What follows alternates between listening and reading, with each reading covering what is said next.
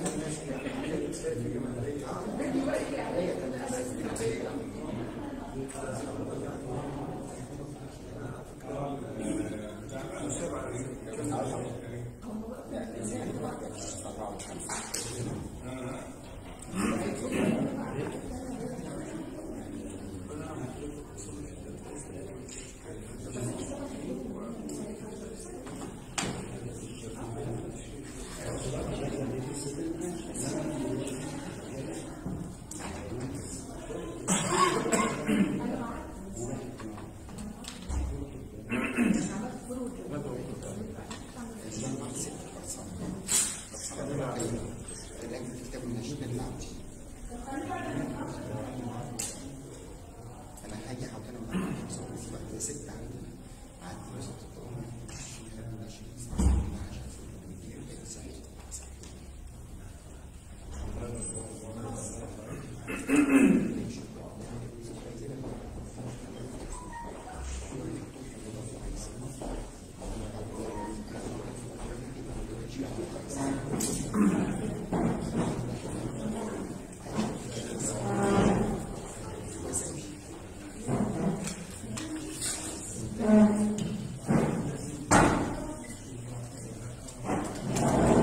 على حضراتكم يشرفنا اليوم يشرفنا اليوم حضوركم لجنة لجنة الملكية الفكرية آه، بالمجلس الأعلى للثقافة تحت رعاية آه، معالي الوزيرة الدكتورة الأستاذة الدكتورة إيناس عبد الكريم والأستاذ الدكتور هشام عزمي أمين عام المجلس الأعلى للثقافة. الحقيقة لجنة الملكية الفكرية اهتمت جدا. ب في صوت.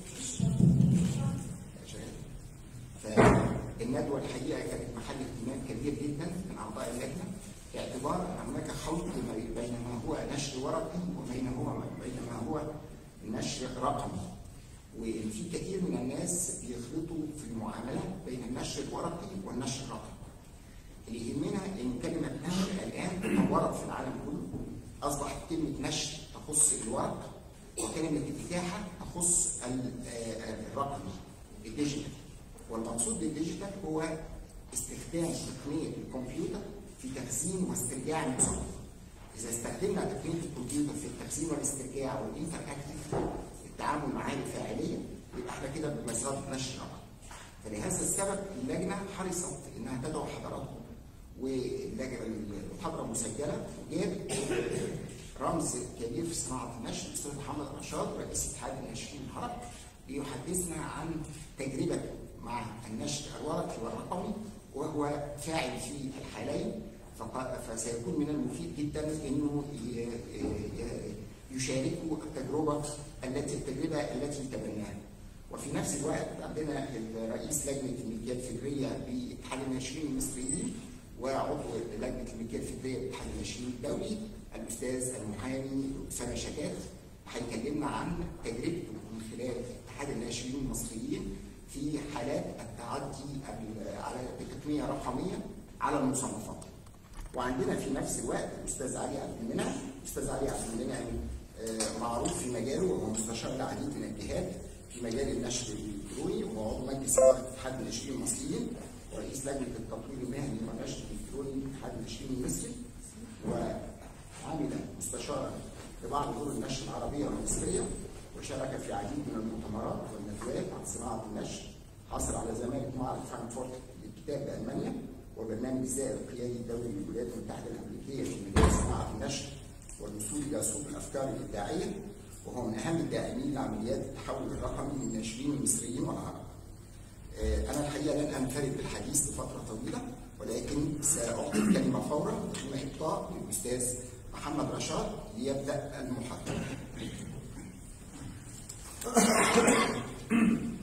شكرا أستاذ الدكتور حسام لطفي في البدايه احب ارحب بكم واشكركم على حضوركم آه، واشكر الاستاذ سعيد عبده رئيس اتحاد الناشئين المصريين والزملاء اعضاء مجلس الاداره وزملاء الناشئين والساده الاعلاميين والصحفيين الموجودين آه، الحقيقة أنا الموضوع ده بيشغلني من سنه آه، يمكن 89 لما تصديت لاحياء اتحاد الناشئين المصري كان متجمد من سنة 65 لغاية 89 تصديت لاحياء هذا الاتحاد اتحاد الناشئين المصريين ومن سنة 90 وأنا بتكلم في موضوع القرصنة الموجودة. الحقيقة كانت القرصنة الأول على استحياء كانت القرصنة قرصنة ورقية.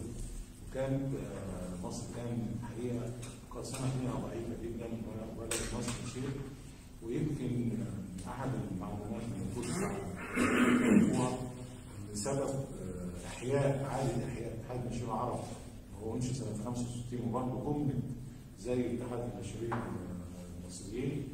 آه، 95 كان بسبب تنامي وازدياد وازدياد حركة التزوير في إحدى البلدان العربية.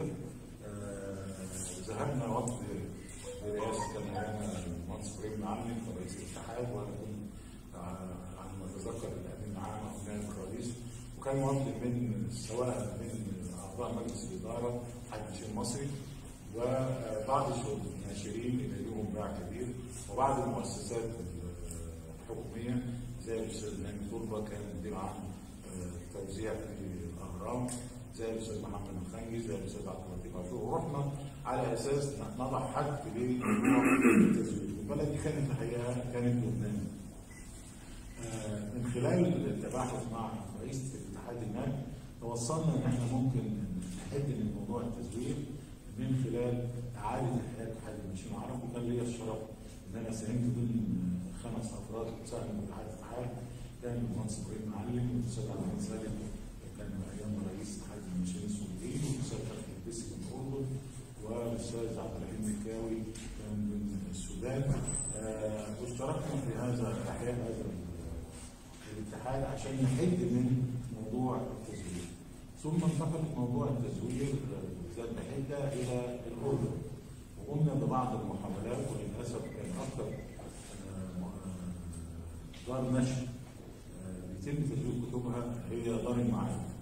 وللأسف الشديد ايامها دعا ذكر رئيس مجلس الإدارة هو يرسل أحد العاملين بدار المعارف للتعرف على الكتب لأن كانت كميات كبيرة موجودة وكان بيطلب هذا وكان بيطلب إن يتم آه، سفر الزميل من دار المعارف على حساب الاتحاد. والحقيقة إحنا رفضنا هذا الكلام. ما كانش فيه الحقيقة بعد كده بدأت آه، تتنامى تزيد موضوع التزوير في مصر. يعني كتر الحملات اللي إحنا كنا بنعملها في البلاد العربية والزيارات المستمرة اللي قمنا بيها العالم العربي من قبل الرؤساء والملوك والأمراء ووزراء الثقافة والداخليه والعدل ونحسهم ما كان معظم الدول العربيه ما كانش قوانين حمايه الملكيه الفكريه وقلنا لهم آه، يعني إن اجلا أو عاجلا هيتم آه، بالفرض على آه، إصدار قوانين حماية الملكيه الفكريه في بلادكم فالأفضل المبادرة لأنه كان بدأت منظمه التجاره العالميه تتكلم عن اتفاقيه الجاز وبعدها كان الربش كان ايامها هذا الكلام. الحقيقة استجاب معظم الدول العربية لاصدار قوانين حمايه الملكيه الفكريه وكان في بعض البلدان كان ليها وجهة نظر على ما أتذكر كانت سوريا وكان المسؤول.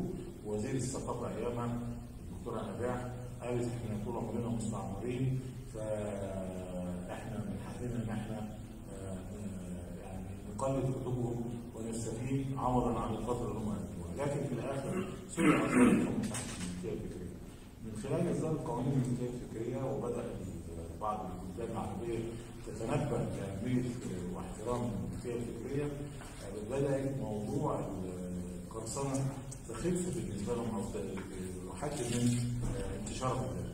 للأسف الشديد إحنا في مصر بدأت تتنامى هذه الظاهرة بشكل كبير جدا وأصبحت ظاهرة موجودة وحدث ان بعد ثوره 25 يناير والانفلات الامني اللي حصل حصل نوع من تزايد في الظاهرة القراصنة زادوا وتبجحوا بشكل كبير ويمكن كان لنا فتره الاتحاد في إنشاء الاداره العامه لمباحث المصنفات لأن كان أيامها وزير الداخلية كان اللي هو حسن الالفي وكان في مشكلة كده موجودة إن في كتب بتهاجم المملكة العربية السعودية والملك فهد وبعض الكتب تدعو إلى الجنس والإلحاد. وكان متصور إن الناشئين المصريين هم اللي قاموا بهذا العمل ولكن كان للاسف الشديد كان أحد العاملين بجهاز الشرطة هو اللي خرج من الشرطة وكان آه، بينشر هذه الكتب. وطلبنا منه أنا وفي اللقاء أنا والمنصور بن علي إن لابد يكون تكسر آه، حماية الملكيه الفكريه إدارة الملكيه الفكريه من مباحث الاموال وتخصص آه، إدارة عامة لمباحث المصنفات وينشأ قسم في كل محافظة أو كل مديريه امن على مستوى الجمهورية تكون آه، مهتمه ومسؤوله عن حماية الملكيه الفكريه. الحقيقة آه، أنا الحقيقة يعني تعبت في هذا الموضوع على سنوات طويلة ويمكن دخلت في معارك كثيرة مع المزورين واجتمعت بيهم واكتشفت الان ان هم عددهم لا يزيد عن 10 موجودين 10 12 مزور على مستوى الجمهوريه ولكن بيشتغلوا بنظام عصابات المخدرات بنفس الطريقة هم بيقوموا بعمليه التزوير من خلال إن هم طبعا بستث- بستثرد الكلام على أساس إن آه، الزملاء الناشئين يعرفوا هذه الوقائع لكن يمكن في البعض من الحاضرين سواء كانوا عاملين أو صحفيين ما يعرفوش هذا التاريخ اللي كان موجود فأنا بحاول بقدر المستطاع إن أنا أشرح بشكل أفضل إن هو آه، إزاي الناس دي بتشتغل. الناس دي بتشتغل إزاي؟ عبارة ال 10 12 اللي موجودين دول آه، لما يلاقي كتاب بدأ آه، يتردد اسم بين القراء وبين اجهزه الإعلام والصحافة يبتدي يحط عينه عليه ويبتدي بعد كده عنده موزعين عنده موزعين آه، يبتدي يتصل بكل واحد أنت محتاج كتاب فلان فلاني صادر عن فلان والمؤلف فلاني ومطلوب بشدة آه، محتاج منه قد إيه؟ فيقول له 200 نسخة 300 نسخة 500 نسخة. ويجمع عدد النسخ اللي هو بيطلبها اللي هم بيسأل فيها الموزعين ثم يذهب إلى مطبعة تحت بير السلم. نفس الشيء المطبعة المخالفة اللي هي تحت بير السلم يبتدي يتصل بناس آخرين ويقول لهم عندي كتاب كذا كذا أنا بطبعه لو أنتم محتاجين منه فتتراكم في الآخر الكميات حد أدنى يعني تصورنا على حسب الخبرة اللي إحنا شفناها. آه، لا يقل عن 20 إذا الناشر طبع 1000 نسخة أو 2000 نسخة المزورين بيطبعوا حوالي 20000 نسخة تقريبا تقريبا بيطبعوا 20000 نسخة. هؤلاء الموزعين بعد الموزعين بياخدوا الكتاب ويمكن لو يعني أنا حاولت إن أنا أقابلهم وقعدت معاهم وقلت لهم هديكم خصم 50% إذا كان الكتاب ب 50 جنيه فانا هديهولك ب 25 جنيه وهتستعين تستفيد أكتر. طلع إن المزور بياخد الكتاب 2 جنيه 3 جنيه والموزع بياخد 2 جنيه 3 جنيه. البائع اللي هو على الفرشه أو المكتبة ده يمكن ياخدوا له هو وشطارته بقى 5 جنيه 10 جنيه ساعات يضحك على على القارئ ويقول له دي النسخة الأصلية والنسخة الأصلية هي النسخة المزورة وعلى حسب ما ما يستفيد من هذا من هذا الموضوع. فدي الطريقة اللي هم بيشتغلوا بيها. حاولنا بقدر المستطاع إن إحنا نكسب جهودنا الحقيقة حد ناشئين المصريين الفترة حاليا الأستاذ سعيد عبده وزملائه الموجودين ما لم يدخروا جهد في ان هم يتابعوا هذه الموضوعات ويمكن استطاعوا أن هم يقوموا بحملات واستطاعوا أن هم يوثقوا العلاقة بينهم وبين آه، مباحث المصنفات بشكل كبير جدا. لكن ما زالت المشكلة كبيرة جدا جدا جدا لأنه مش عايزين يرتدعوا هؤلاء المجاهدين. وأنا بعتبرهم لصوص وحرامية. ويمكن البعض مرة هاجمني لما جبت فتوى من آه، دار الافتاء مش كان ايامها الشيخ علي جمعه حتى بعض المثقفين قالوا لي أنت بتدخل الثقافه في الدين أنا بس عايز أقول للمزورين إن هم لأن كانت الفتوى إنهم آه، بيستحلوا والمال اللي بياخدوه مال صح عشان يمكن يرتدعوا شوية. الحقيقة ال- ال- اللي أنا بقوله ده دي الطريقة اللي هم بي- بي- بي- بيشتغلوا بيها. أنا شخصيا الشهر اللي فات عندي ثلاث كتب تم تزويرهم. لو أنا اتكلمت عنهم بس وأقول مش آه، السعر الإجمالي ليهم بيتباعوا كام لكن هقول لكم العائد الناشر يعني مهما عظم آه، فائدته أو ربحه اي كتاب تقريبا بتبقى النسبة بتاعته زي نسبة المؤلف إذا كان المؤلف بياخد 10% يبقى العائد بتاع الناشر 10% إذا كان بياخد 15% بياخد بياخد الناشر 15% أنا عندي في دول نص مليون جنيه. واضرب لكم بمثال عندي كتاب آه اسمه حكايات العمر كله سمير صبري ب 100 جنيه. آه ده حوالي 150 ألف جنيه. كتاب تاني روايه للمستشار أشرف العشماوي آه، بيتباع ب 85 ده حوالي يمكن برضه ما ياخد من, هذا الرقم. وكتاب ثالث اللي هو ذكريات الدكتور مصطفى الحسبة بتاعتي أنا نص مليون جنيه. كعائد لو كان دخلي مش بقول كرقم مبيعات لو حسبتها كرقم مبيعات فأنا بكلمكم بقى في أرقام ثانية اضربوا بقى 10000 نسخة وأنا حسبتها على أساس 10000 ولم احسبها على 20000 نسخة. 10000 نسخة.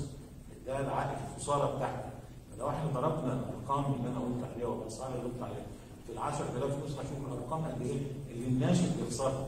الناشئ بيخسر هذا من هؤلاء المزودين الحقيقة آه، أنا كاتب ورقة ويمكن تسمح لي بس أقولها وبرضه آه، المعلومات اللي انت هقولها أكيد زملاء الناشئين كلها يعرفوها لكن برضه بنحب إن إحنا طالما أنت حضرتك بتقول إن هي معمولة على البث المباشر آه، ربما يكون في ناس مش متخصصين يعني مش لا يعملوا في مجال النشر ربما يكون مؤلف ربما يكون صحفي.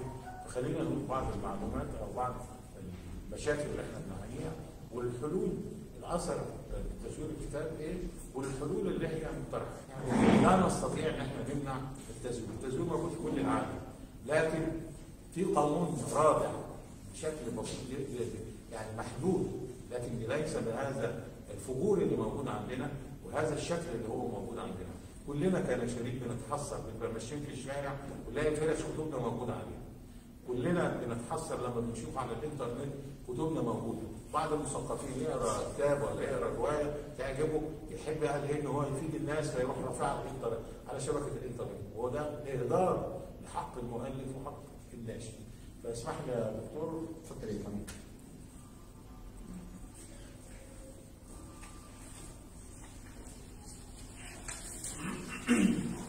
هي ال- الورقة معمولة صناعه النشر والآثار السلبية لتجويل الكتب على الصناعة. آه، إن مفهوم الثقافة بالمعنى العام هو المكون الذي يشمل المعرفة والمعتقدات والأخلاق والفنون والعادات والتقاليد التي يكتسبها الإنسان وتتطور معه باعتباره عضوا في المجتمع. مع ضرورة أن يكون هناك ناتج عن هذه المصطلحات ويعبر الإنسان بنفسه عنها في عمل أو منتج يطلق عليه منتج ثقافي.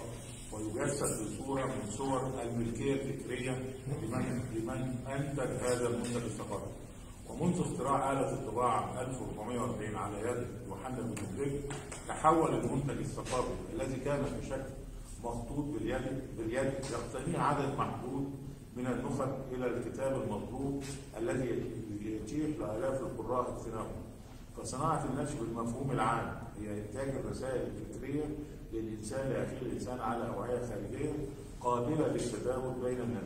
وبأشكال متعددة مثل الكتاب والدوريات والمصغرات والمع- والمواد السمعية والبصرية والأقراص المدمجة وشبكة الإنترنت.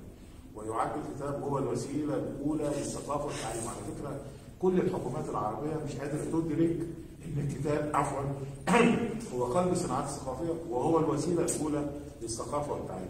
بل الوعاء الجامع والشامل لكل مكونات الثقافة لأنه يحمل داخله فكر الإنسان وإبداعه لأخيه الإنسان. فمنذ اختراع الكتابة قبل الميلاد بست آلاف سنة كانت البدايات الأولى لشكل الكتاب. من خلال تسجيل الإنسان لأفكاره على المواد الموجودة في بيئته مثل الحجارة وجدران المعادن وغيرها. عندما اخترع المصريون ورق البردي والاشوريون الواح الطين كان شكل الكتاب في مرحلته الثانية إلى أن وصل إلى مرحلته الثالثة في شكله التقليدي الحالي عند اختراع الطباعة عام 1440 ثم ظهرت أشكال أخرى مثل المصورات الفيلميه والمواد الفنيه والبصرية والاقراص المنبكه ووصل الكتاب في مرحلته الرابعة مع مستحدثات التكنولوجيا بظهور شبكة الإنترنت فيما يسمى الكتاب الإلكتروني أو الرقمي وأصبح مفهوم النشر هو نشر المحتوى على آلية وسيط يوجد الآن أو يظهر في المستقبل. هو الدكتور حسام دلوقتي ال- إحنا بنقول النشر هو نشر محتوى. فأنت قلت إن النشر يبقى الورقي ناحية هي الرقم والرقمي يعني مغير المصطلح يعني بلاش نقول إن هو نشر المحتوى لا هو محتوى. نقول نشر المحتوى. هو نشر المحتوى. بيتم إما بنشر ورقي أو اتاحه رقميه ومن المعروف إن صناعة النشر هي قلب الصناعات الثقافيه إلا أن هذه الصناعة في عالمنا العربي ومنها مصر حديثه إذا ما قورنت بما هو حادث في العالم الغربي. بل إن هذه الصناعة بالمفهوم الخاص وهو الكتاب الورقي قد بدأ منذ ما يزيد عن 200 عام في مصر وبلاد الشام وفي معظم البلدان العربية أقل من ذلك بكثير بل فارق زمني كبير بين بدايات صناعة النشر في عالمنا العربي وبين العالم الغربي. هذا الفرق أدى إلى وجود قواعد ثابتة ومستقرة تنظم العلاقة بين اطراف صناعة النشر اللي هو المؤلف والطابع والمو- والموزع والناشر هو اللي بيقوم بعملية جمع الاطراف الثلاثة دول حتى يصل الكتاب إلى القارئ. آه، مما سبق الفتح أن صناعة النشر في بلدنا وعالمنا العربي صناعة ضعيفة، صناعة النشر في العالم العربي صناعة ضعيفة. لا تتخذ خطا صاعدا بل يتأرجح بين صعود وهبوط بل إنها من أكثر الصناعات التي تتعرض لأزمات كبيرة عند حدوث أي منعطفات غير طبيعية يمر بها الوطن العربي فهي ما زالت في بدايتها مقارنة بالعالم الغربي. عندنا مشكلات يعني برضه الزملاء المسؤولين عن هذا الكلام وما اعتبروش إن أنا يعني بحاول إن أنا أطول ولكن أقول طالما تبثروا عايزين أكبر قدر ممكن من الكتاب ومن المثقفين ومن الاعلاميين يعرفوا مشاكلنا إيه. يعني أنا مضطر أقول هذا الكلام مش مسألة إن إحنا ب- بزايد أو إن إحنا حاجة زملائي عارفينها لكن طالما بيبث يبقى أكيد في مجموعة كبيرة فممكن ان هم يستفيدوا من الكلام ويعرفوا المعاناة اللي إحنا عايشينها لأن إحنا دائما آه، الخناقة الطبيعية اللي موجودة بين المؤلف والناشر دايما الناشر متهم والناشر دايما غير مصدق والمؤلف هو المصدق يعرفوا إيه المشاكل اللي إحنا بنعاني منها. عندنا المشكلات صناعه النشر قبل جائحه الكورونا. ضعف الاهتمام وتنميه عدد القراءه لدى الافراد المنتظمين. ارتفاع نسبة الاميه واللي بتقلل من الكميات المطبوعه. عزوف المتعلمين والمثقفين عن القراءه. تعا- تعاظم أجهزة الرقابة وتشددها. تفشي ظاهرة التزوير ورقيا والكترونيا في الاعتداء على حقوق الملكيه الفكريه للمؤلف والنشر. الارتفاع المستمر في معدل الضرائب على نشاط دور النشر والتي تصل إلى نسب مرتفعة بخلاف الرسوم الأخرى واعتباره مثل أي نشاط تجاري لا يتضمن رسالة للمجتمع، الناشر ده عنده رساله المفروض ما يتعاملش زي اللي عنده محل أحذية أو محل ملابس أو أي شيء المفروض إن هو يبقى ليه وضع خاص لأنه عنده رسالة بيقدمها للمجتمع. الارتفاع المستمر في الضرائب والرسوم الجمهوريه على مستلزمات الإنتاج الكتاب فضلا عن ضريبه القيمة المضافة خاصة إن إحنا مش بلاد منتجة لمستلزمات انتاج الكتاب، العالم العربي ليس آه، منوط به أو ما عندوش القدرة على إنه ينتج مستلزمات الكتاب سواء من كان أحبار أو زكاة أو ورق ممكن في مصر آه، وبعض البلاد بس النسبة يعني بسيطة جدا آه، بتمثل التلت مثلا في مصر إذا كان عندنا مصانع الورق بتمثل التلت لكن التلتين لازم يتم استيرادهم من الخارج. الارتفاع المستمر في أسعار الدعايه والإعلام ووسائل الإعلام، الارتفاع المستمر في تكاليف الشحن وعدم وجود خطوط منتظمه، تراجع إنشاء المكتبات التجارية لارتفاع تكلفه الاستثمار، النهارده لو أي واحد عايز ياخد مكتبة في أي مكان 40000 و50000 لو راح أي مول مش عارف ب 120 150 طب هل هل الكتاب هيغطي له هذا الرقم؟ ولذلك الناس بتعرف على إنها مكتبات قلة المكتبات التجارية اللي إحنا بنسميها بوك شوب. قلة عدد المكتبات العامة مقارنة بعدد السكان، للأسف الشديد ليس هناك اهتمام على مستوى الوطن العربي بالمكتبات العامة، في إحصائيات موجودة دوليه، في بعض الإحصائيات تقول كل 10000 نسمة المفروض يكون لهم مكتبه عامة وتبدأ ب 10000 عنوان ثم تزاد سنويا، وفي بعض الإحصائيات بالنسبة للدول المتوسطة أو دول نامية إن يكون ممكن لكل 100000 نسخ نسمة يكون عندهم مكتبه عامة. إحنا لو حسبنا عدد المكتبات العامه في مصر مقارنه بعدد السكان هنكتشف ان في فارق كبير جدا يمكن الأستاذ سعيد كان عامل إحصائية قبل كده بالنسبة للمكتبات العامة اللي هي موجودة. آه ودي نقطة خطيرة يعني لأن لو كان القارئ بيشتكي من ارتفاع سعر الكتاب أنا مضطر اطبع كميات بسيطة لأن في مزورين بيطبعوا قصادي.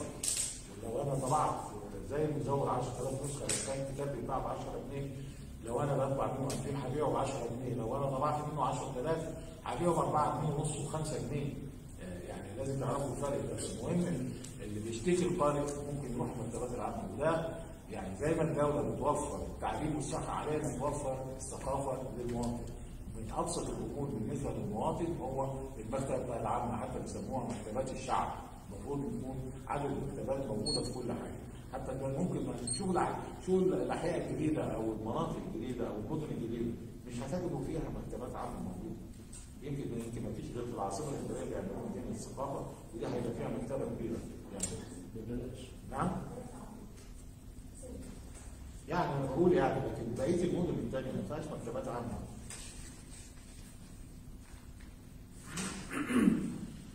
آه، مشكلة كبيرة طبعا عندنا تواجهنا الناشر في الدول المتقدمه بيعتمد على الجهات الرسمية اللي تمثل مكتبات عامة، مراكز ثقافية، مكتبات مدرسيه، مكتبات عامة، مراكز أبحاث بنسبة 80% و20% على القارئ لأن المؤلف ممكن القارئ ممكن إن هو يستدعي أي كتاب من أي مكتبة عامة يجيبه لغايه البيت.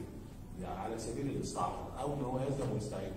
إحنا في عالمنا العربي الناشر ده مظلوم ناشر عربي مظلوم. بيعتمد على آه، 80% أو 90% على القارئ اللي موارده محدوده بما فيهم بتوع الخليج على فكرة. عشان بعض ما تتصورش إن الخليج ممكن يكون في فرق كبير بينه وبين الدول الثانية.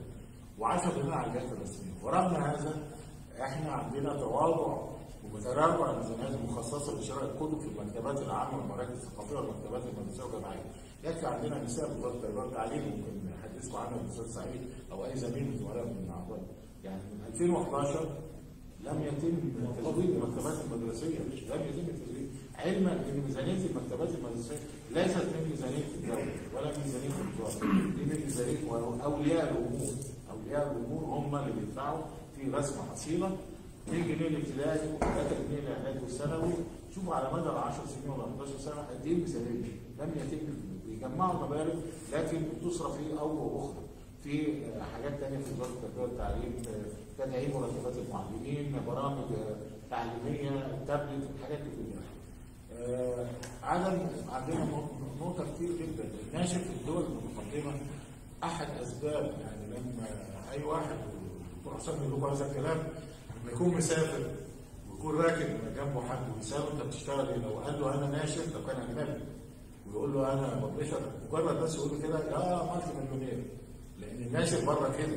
لأن بيعمل وفورات من الاعمال اللي هو بيعملها أهم الوفورات له وفورات ماليه ويستطيع أن يبقى ناشر كبير ويخرج من المحلية إلى الدولية هو أن يتصدى لنشر طبع الكتاب المدرسي للأسف الشديد الناشر في العالم العربي لا يسمح له أن ينشر ويطبع الكتاب المدرسي كل دول النشر الاجنبيه الكبيرة اللي تسمعوا عنها بان بوكس واكسفورد والناس كلها كلها معتمدة على إن هي بت- بتنشر وتطبع الكتاب الكتاب المدرسي. هو ده اللي بيعملها وفورات ماليه.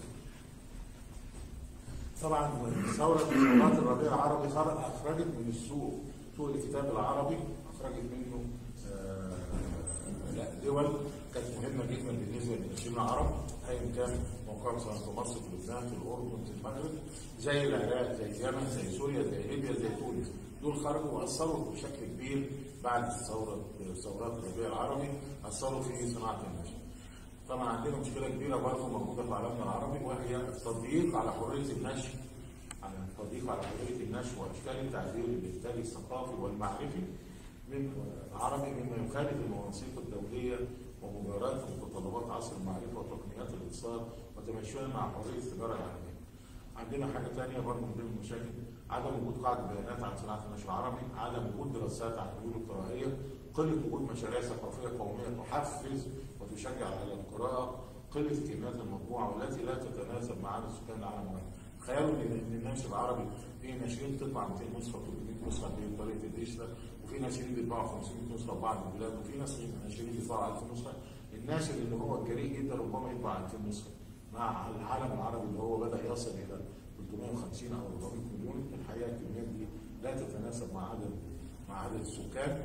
آه، تدني العائد المادي للناشر مقابل يعني الوقت والجهد اللي بيبذله الناشر العربي مجال النشر متدني. آه، وبالتالي تدني الامكانيات المالية لمعظم الناشرين يعني معظم الناشرين العرب إمكانياتهم المالية ضعيفة. مش مش قوية زي الناشرين الأجانب اللي هم في الغرب.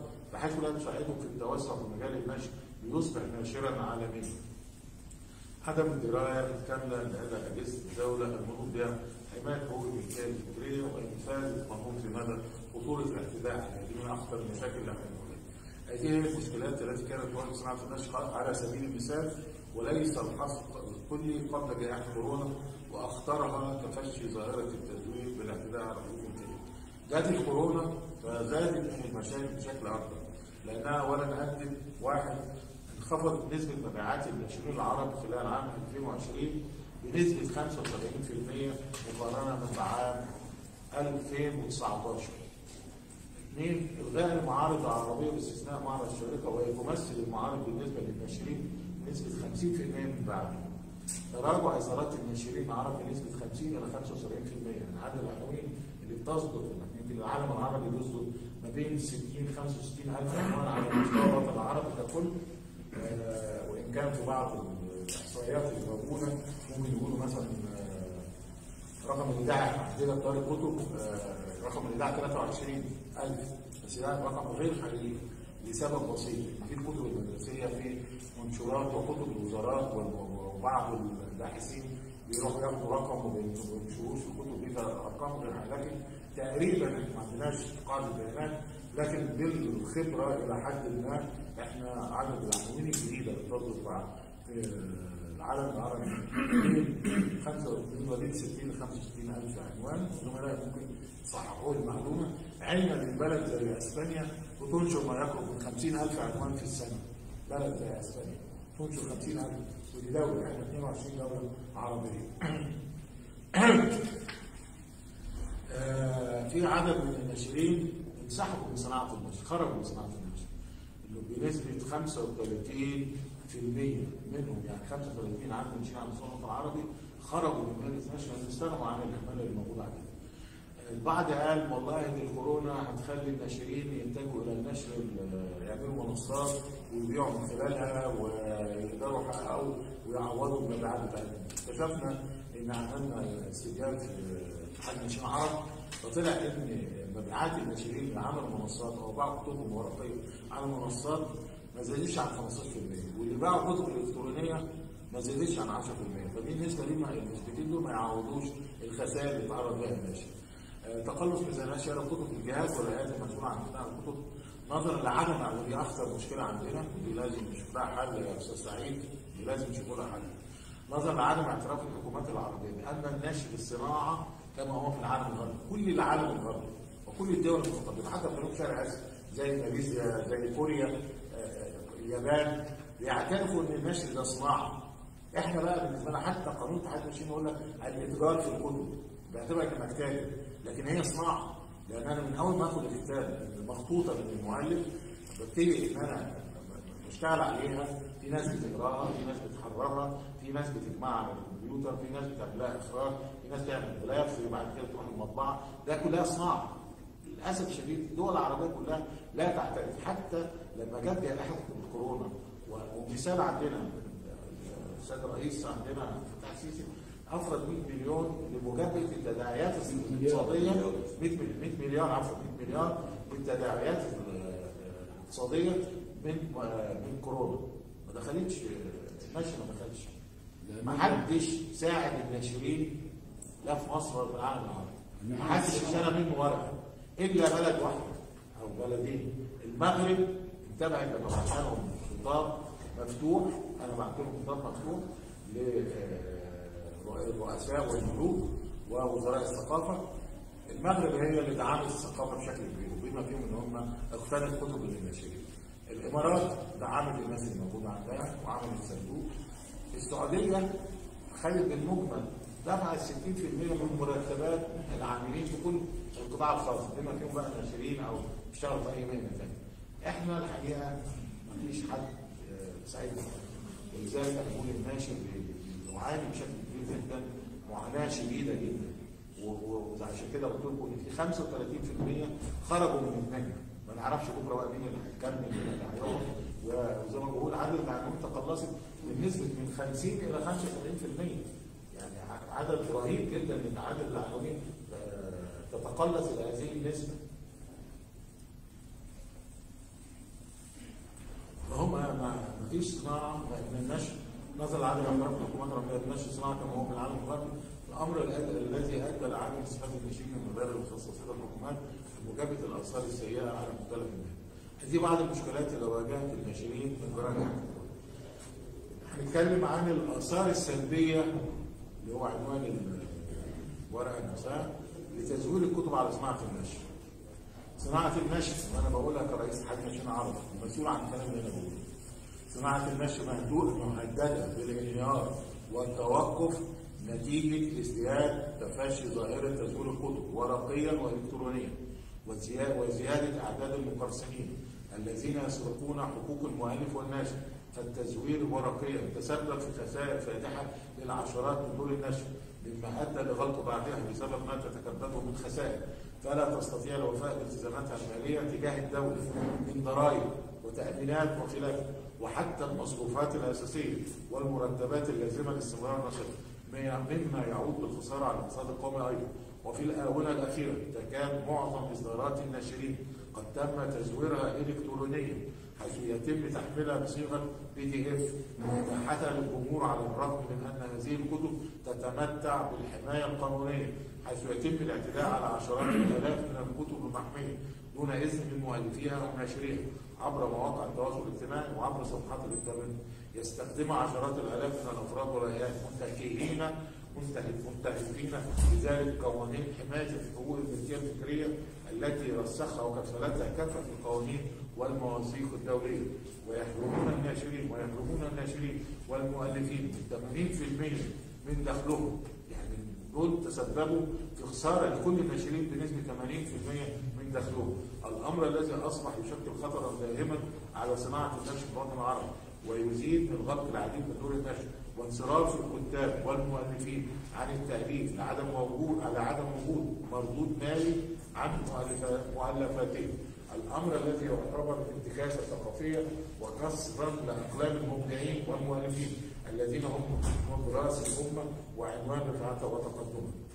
اثنين تؤدي ظاهرة الاعتداء على حقوق الملكية الفكرية على المستوى المحلي إلى قتل الفكر والإبداع لدى كتابنا ومفكرين وهم الذين يمثلون القوى الناعمة لما لما لها من تأثير على المستوى الوطني والعربي والدولي. تؤدي ظاهرة التزوير إلى إهدار أموال الدولة لتهربهم الضريبي المقرصين بدفع الضرائب وتخفيض القيمة المضافة للناتج القومي بسبب توقف الناشرين عن الإنتاج واغلاق منشاتهم. تؤدي ظاهرة الاعتداء على حقوق الملكية الفكرية على المستوى الدولي إلى وقوع البلاد وأنا قلت هذا الكلام 50 مرة. إحنا معرضين وبالذات مصر إلى تطبيق عقوبات من المنظمات الدولية على مصر زي ما حصل في الصين وزي ما حصل في كوريا الشمالية. إلى وقوع البلاد تحت طائله العقوبات الدولية. لأن المزورين لم يكتفوا بتزوير أو تقليد الكتب المصرية والعربيه ورقيا وإلكترونيا بل تعدى ذلك لدور النشر الاجنبيه ووصلوا من الجراءة إلى عرض هذه الكتب داخل بلدانهم وكذلك تصديرها للبلدان العربية بل وعرضها في المعارض العربية. آه، تؤدي ظاهرة التزوير إلى هدم صناعة التاليف والنشر فيما يستبعد الكتاب العربي يخلي الساحة للناشر الاجنبي الذي تتعدى أسواقه ويستطيع تحمل التعدي على حقوق الملكيه الفكريه وتتراجع حركة النشر باللغة العربية وانسحاب المستثمرين لقطاع النشر للاستثمار في قطاعات أكثر رواجا ويرسخ الاختراق الثقافي حيث سيعتمد القارئ العربي على مؤلفات بلغه اجنبيه ليحصل على منتجات ذات الثقافة وهدم وهدم للهوية العربية. وجود نزاعات وخلافات قانونية بعض الناشرين والمؤلفين عندما يلجأ بعض القراصنه بوضع اسماء دون نشر ومؤلفين على بعض الكتب يعني هم يروحوا حاطين اسم هو مزور كتاب مثلا دار المعارف يروح حاطط عليها مثلا دار الشهور كأن دار الشهور هي اللي زورها وهو يعلم هذا الكلام. ويخلي الناشرين بينهم وبين بعضهم مشاكل. نظرا لوجود فروق الأسعار في الكتب المزوره عن الكتب الأصلية. بنسبة تتعدى 60% مما رسخ في ذهن القارئ أن الناشر يستغل بالمغالاة بتسعير الكتب فيفقد ثقته في الناشر صاحب الحقوق ويشيع في المجتمع ثقافة عدم احترام حقوق الملكية الفكرية مبررا بذلك القارئ الحصول على الكتاب بأسعار رخيصة مقارنة بسعر الأصل. دون أن يدرك أن المزور هو لص يعني يسرق المؤلف والناشر حيث لا يتحمل تكاليف إعداد وتجهيز الكتاب للنشر وسداد حقوق المؤلف وأيضا التزامات الدولة من الضرائب والتامينات. طيب عندنا مقترحات يعني من وجهة نظري ممكن صح وممكن غلط زملائي يصححوها لي أو يضيفوا عليها أو يحذفوا منها. بالنسبة للمقترحات عشان نحد لو مش هنقدر نمنع نحد من تزوير الكتب مصريا وعربيا اولا التزوير الورقي. واحد ضرورة إعادة النظر في قوانين الملكيه الفكريه في البلدان العربية عامة وخاصة في نصف قانون رقم 82 لسنة 2002 وذلك بتقليص العقوبات لمنتهك حقوق الملكية الفكرية لتتناسب مع حجم الأضرار التي تسببها المزورين المؤلفين والناشرين. عايز أقول لكم معلومة أنا في سنة 2012 في شهر مايو يوم 29 كنت بسلم آه، رئاسة الاتحاد بتاع الدوره بتاعت التايم كنت الصبح في البرلمان مجلس الشعب أيام الإخوان ومقدم قانون واشترك فيه الدكتور حسام يعني أنا كنت معاه في هذا الموضوع لتقليص القانون وإلى الآن ورجعنا قدمناه أيام العداله الاقتصاديه وتقدم في البرلمان ورجعنا قدمناه مرة ثانية عن طريق برضه آه، حاج الناشئين قدموه عن طريق آه، حزب الوفد تقريبا.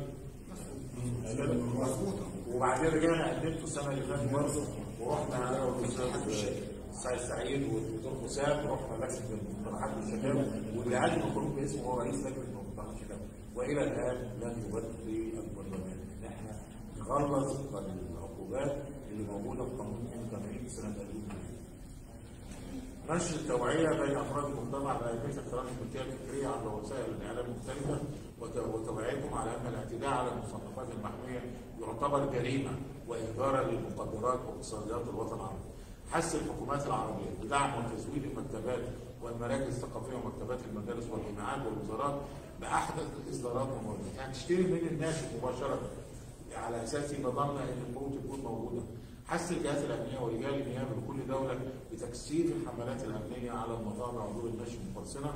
عمل دورات تدريبية عمل للجهات الرقابية والأمنية والأمنية آه، للتوعية والإرشاد بالضبط والتحقيقات والمحاكمات الخاصة بقضايا حقوق الملكية الفكريه لاحكام اصدار الأحكام وتنفيذ العقوبات المنصوص عليها في القانون من الحبس والغرامة والمصادره للكتب المزورة وأيضا الآلات الآلات المستخدمة في عمليه التدريب. مناشدة وزارات التربية والتعليم لادراج تدريس حقوق الملكية الفكريه ضمن مناهجها للتلاميذ والطلاب حتى يشوفوا على احترامها. إنشاء نيابات متخصصة وده اللي إحنا بنطالب بيه وأنا الحقيقة رحت لكذا نائب عام وأقول له اعمل معروف اعمل لنا نيابه متخصصه زي نيابة زي نيابه المخدرات والكلام ده كله طبعا بيتحققوا بالميزانيات والعدد وعمل وكلاء النيابه آخر واحد كان المستشار الراجل المحترم نبيل صادق آه، قال أنت عارف عددنا وكلاء النيابه كلها على مستوى الجمهوريه كام؟ 14000 أنت عايز أعمل لك نيابه متخصصه أجيب ناس منين؟ مناشدة إنشاء نيابات متخصصة لحماية حقوق الملكية الفكرية لتراكم خبرات رجال النيابة فيها مع صحة توصيل الجرائم وحالتها إلى المحاكم الاقتصادية دون حالتها للمحاكم العادية. تدعيم الإدارة العامة لشرطة مباحث المصنفات وحماية الملكية الفكرية. المشكلة عندنا في الإدارة العامة لمباحث المصنفات إن عدد الضباط فيها قليل ودايما يتم تكليفهم بأعمال خارجة عن تخصصهم سواء كان في آه، أعمال خارج الإدارة وبالتالي ما بيقدروش يقوموا بنفس الأعمال. ضرورة الالتزام ضرورة أن تكون اقسام مباحث المصنفات مديريات مديريات الأمن بالمحافظات تبع الإدارة العامة لمباحث المصنفات لتسهيل قيام هذه الاقسام لأن في الم- في المديريات ودي أصعب بالنسبة لنا. تروح مديرية مطروح مديرية امن اسكندرية. آه، الضابط المسؤول عن المصنفات يتبع آه، رئاسته تبقى لرئيس المباحث أو مدير المباحث. ما يقدرش يتحرك إلى دي ودايما بيكلفه بأعمال غير غير الأعمال اللي هو المفروض يقوم بيها. ضرورة التزام الساده وكلاء النيابه بالكتاب الدوري. وده إحنا قدرنا نطلعه مع النائب العام. السابق وكان قبل كده في كتاب دوري بس كان اللي مضى عليه كان المستشار عبد المجيد محمود وبعدين جه المستشار النائب العام بتاع الإخوان مضى عليه فموظف وكلاء النيابه ما نفذوش. لكن المستشار نبيل صادق النائب العام طلع كتاب دوري واللي بينص على الاتي للساده وكلاء النيابه أن يكون اتحاد الناشئين المصريين والعرب والحمد لله موجودة يعني. هم الذين تحول لهم النيابة العامة وقاعه التزوير لاعداد تقرير عن ذلك وليس دار الكتب أو الاتصال تطبيق قانون اتحاد الناشئين المصريين بشأن معاقبة من يمارس مهنه النشر دون أن يكون مسجلا في سجل اتحاد الناشئين بالحث والغرامه وعقبه المزور بتهمه تعدي على العلامة التجارية يعني هو مش بس بايدين النص ده كمان بيزور العلامة بتاعت دي دي جريمه في نفس الوقت والنموذج الصناعي اللي هو بيعمل بشكل الكتاب المتمثل بشكل طباع الكتاب وهم مملوكان للناشر مطالبه المزور بتقديم البطاقه الضريبيه وإلى يعتبر تقديم تهرب ضريبي ضروره مطالبه المزور بفاتوره أو عقد يتيح له عرض بيع الكتب وإلا يكون إلا يكون يعمل وإلا يكون يعمل دون سجل تجاري. معاقبه المطابع التي تقوم بطباعة الكتب المزورة والتحفظ على الآلات طبقا للقانون. ضرورة قيام وكلاء النيابه باثبات تعدد العقوبة. لما بيخش ولايه كذا كتاب متزور بيعتبر ان دي آه، كتاب واحد ده غلط الكتاب ده بيقول له لا تعمل كل كتاب تعمل له آه، قضية. قانون تسليم الكتب المطبوعه المزورة إلى اتحاد الناشئين لاتلافها حتى لا تتسرب مرة أخرى للاسواق. التنسيق بين الأحياء واتحاد الناشرين في عدم منح رخص انشاء في الشوارع هو الفرشات أو سور الازبكيه أو سور نبي دانيال أو أي منطقة بتكون مشهورة ب- ببيع كتب مزوره الا موافقة اتحاد الناشرين المصريين لأنه يعلم من يقوم ببيع وترويج الكتب المزورة. ده بالنسبة لكتاب الورق، بالنسبة اللي هو بعض المقترحات للحد منها. بالنسبة الكتاب الإلكتروني ترجمه الكتاب الإلكتروني بعض المقترحات اللي بحاول للحد منها ضرورة التنسيق والتعاون بين الاداره العامة لمباحث المعلومات واتحاد الناشئين المصريين للشكاوى المقدمه من الناشئين مواقع مقرصنة لأن هي لما بتروح لمباحث الإنترنت اللي بيسموها مباحث المعلومات يقول لك إن السيرفر ده موجود في أمريكا ادفع قضيه مين ناشر انت يدفع قضيه ب 2 مليون ولا 3 مليون دولار. ما فيش الكلام ده. لكن لو في الدول اللي إحنا من ضمنها مصر وقعت على بعض الاتفاقيات زي الدبليو سي تي والدبليو بي تي وبودابست يحق ليك انك انت تلغي هذا هذا الموقع وتقدر إن أنت تحجم هذا الموقع. وتقدر إن أنت كمان إحنا نقدر نطالب جوجل بالتعويض على هذا لأن هو اللي بيدي الإشارة دي. آه، حث وزراء الداخلية العرب من خلال اجتماعات الدوريه برعايه جامعة الدول العربية على ضرورة التصدي للاعتداء على حقوق الناشئ والمؤلف ورقيه وفلان بالقيام بحملات أمنية- واتخاذ الاجراءات القانونية نحو حمايه صناعه الناس العربي وأيضا اتخاذ الآلي الآتي آه، ده الكلام اللي إحنا طلبناه من وزراء الداخلية من خلال جامعة الدول العربية لأنه بيجتمعوا الجهه الوحيده اللي بتجتمع سنويا. وزراء الداخلية العرب حتى لو كان في مقاطعه أو خلافات أو أو هم بيجتمعوا فاحنا طلبنا من الامين العام للجامعة العربية كاتحاد مشان العرب انه يحسهم على اتخاذ اللازم نحو اغلاق المواقع التي تعرض الكتب المقرصنه اتخاذ الاجراءات القانونيه ضد أصحاب المواقع المقرصنه التنبيه واتخاذ اللازم نحو المنصات الكبرى مثل جوجل وفيسبوك وانستجرام وغيرها. التي تتيح لهذه المواقع والصفحات التواصل على منصاتها.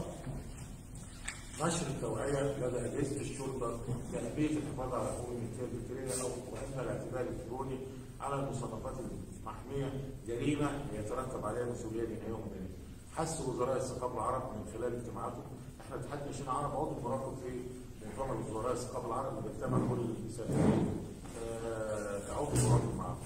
حث وزراء الثقافة العرب من خلال اجتماعاتهم الدورية برعاية المنظمة برعاية المنظمة العربية للتربية والثقافة والتعليم هي الأليكسو على ضرورة انضمام الدول العربية التي لم توافق وتصدق على اتفاقيتين الدبليو سي تي والدبليو بي تي ذلك لإتاحة الحق لهذه الدول في حق في حق المواقع المقرصنة وخطوة الدول العربية من خلال جامعة الدول العربية بالتنبيه على المكتبات العامة والمراكز الثقافية والمكتبات المدرسية والجامعية بعدم إتاحة الكتب المشتركة للناشرين مجانا حيث توجد حقوق المؤلف الناشئين لأن ظهر فترة مع الكورونا كل مكتبة عامة شارية من الناشرين أتاحت هذه الكتب مجانا دون أن هي تراعي في حق للناشر أو المؤلف وتعتبر إن دي خدمة بترضي المواطن بتاعها أو ترضي القارئ بتاعها. وإحنا قلنا لهم المفروض إن يرجعوا لنا لأن في حقوق للناشر والمؤلف ضرورة تضامن اتحاد الناشئين العرب والاتحادات الفطرية في التصدي إلى المواقع الكبرى مثل جوجل وفيسبوك والانستجرام وغيرها برفع قضايا قانونية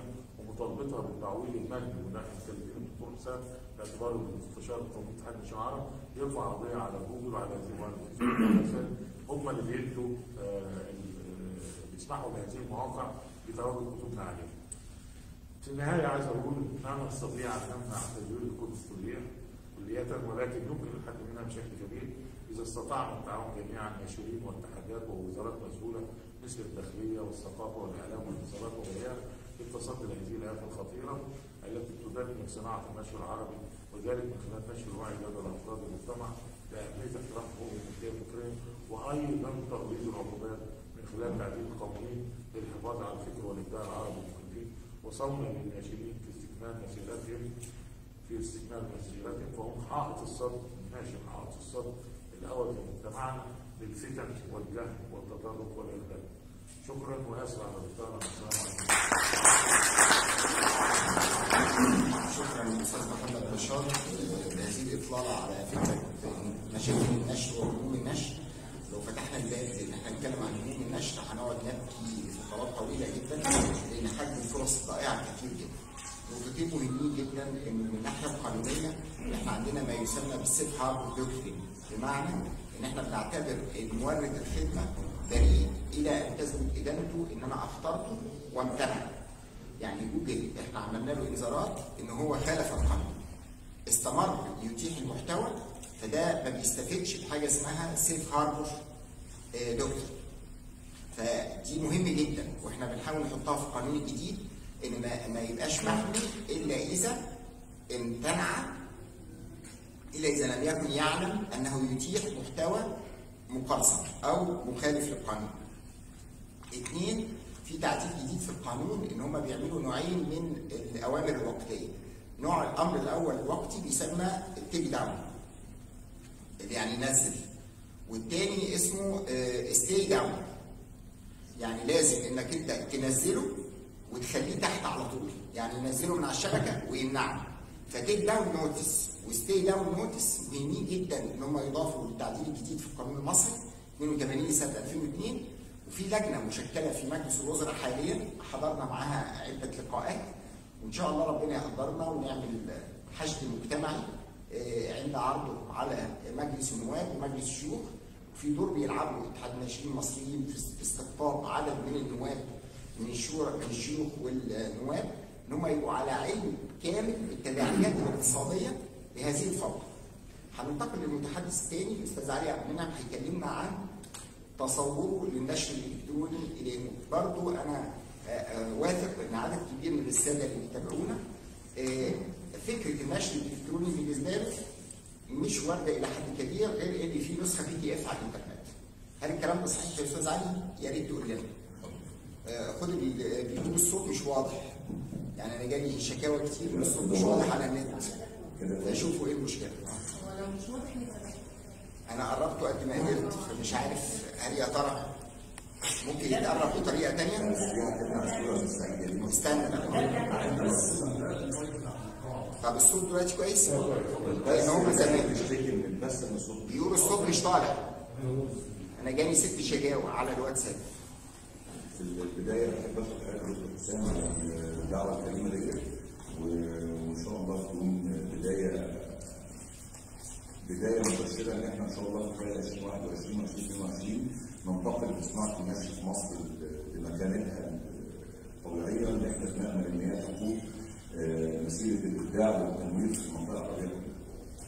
في البداية كل الأستاذ محمد رشوان استاذنا تفضل بيه قال ده واقع أليم إحنا كلنا بنعيش فيه بنعيش فيه من سنوات ده يتفق مع يعني ده جزء مهم جدا لازم نبص عليه مع الجزء الثاني اللي هو إحنا دلوقتي يعني شئنا أم أبينا أصبحنا في العصر الرقمي.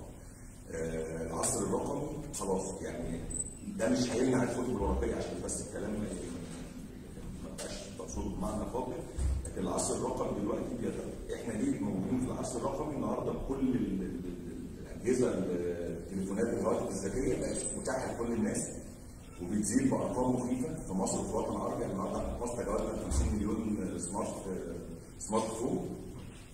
زائد النقطة الثانية إن إحنا كلنا connected بالانترنت على فترات متباعدة.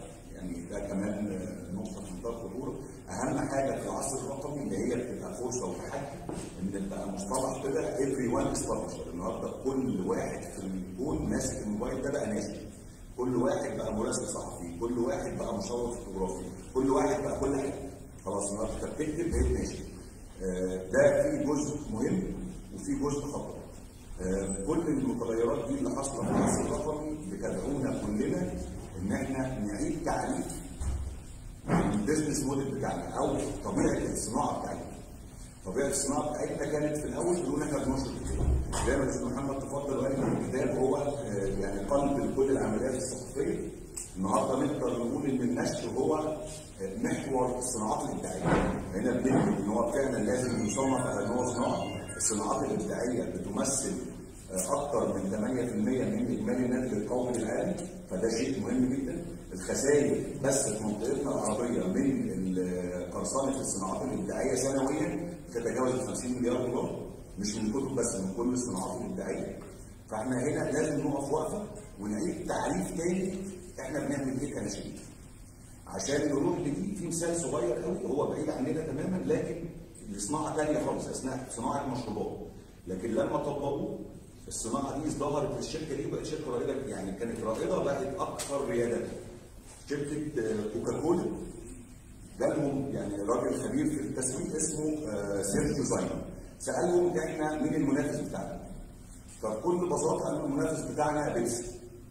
فقال لهم خلاص إحنا المنافس بتاعنا أي حاجة بتتشرب.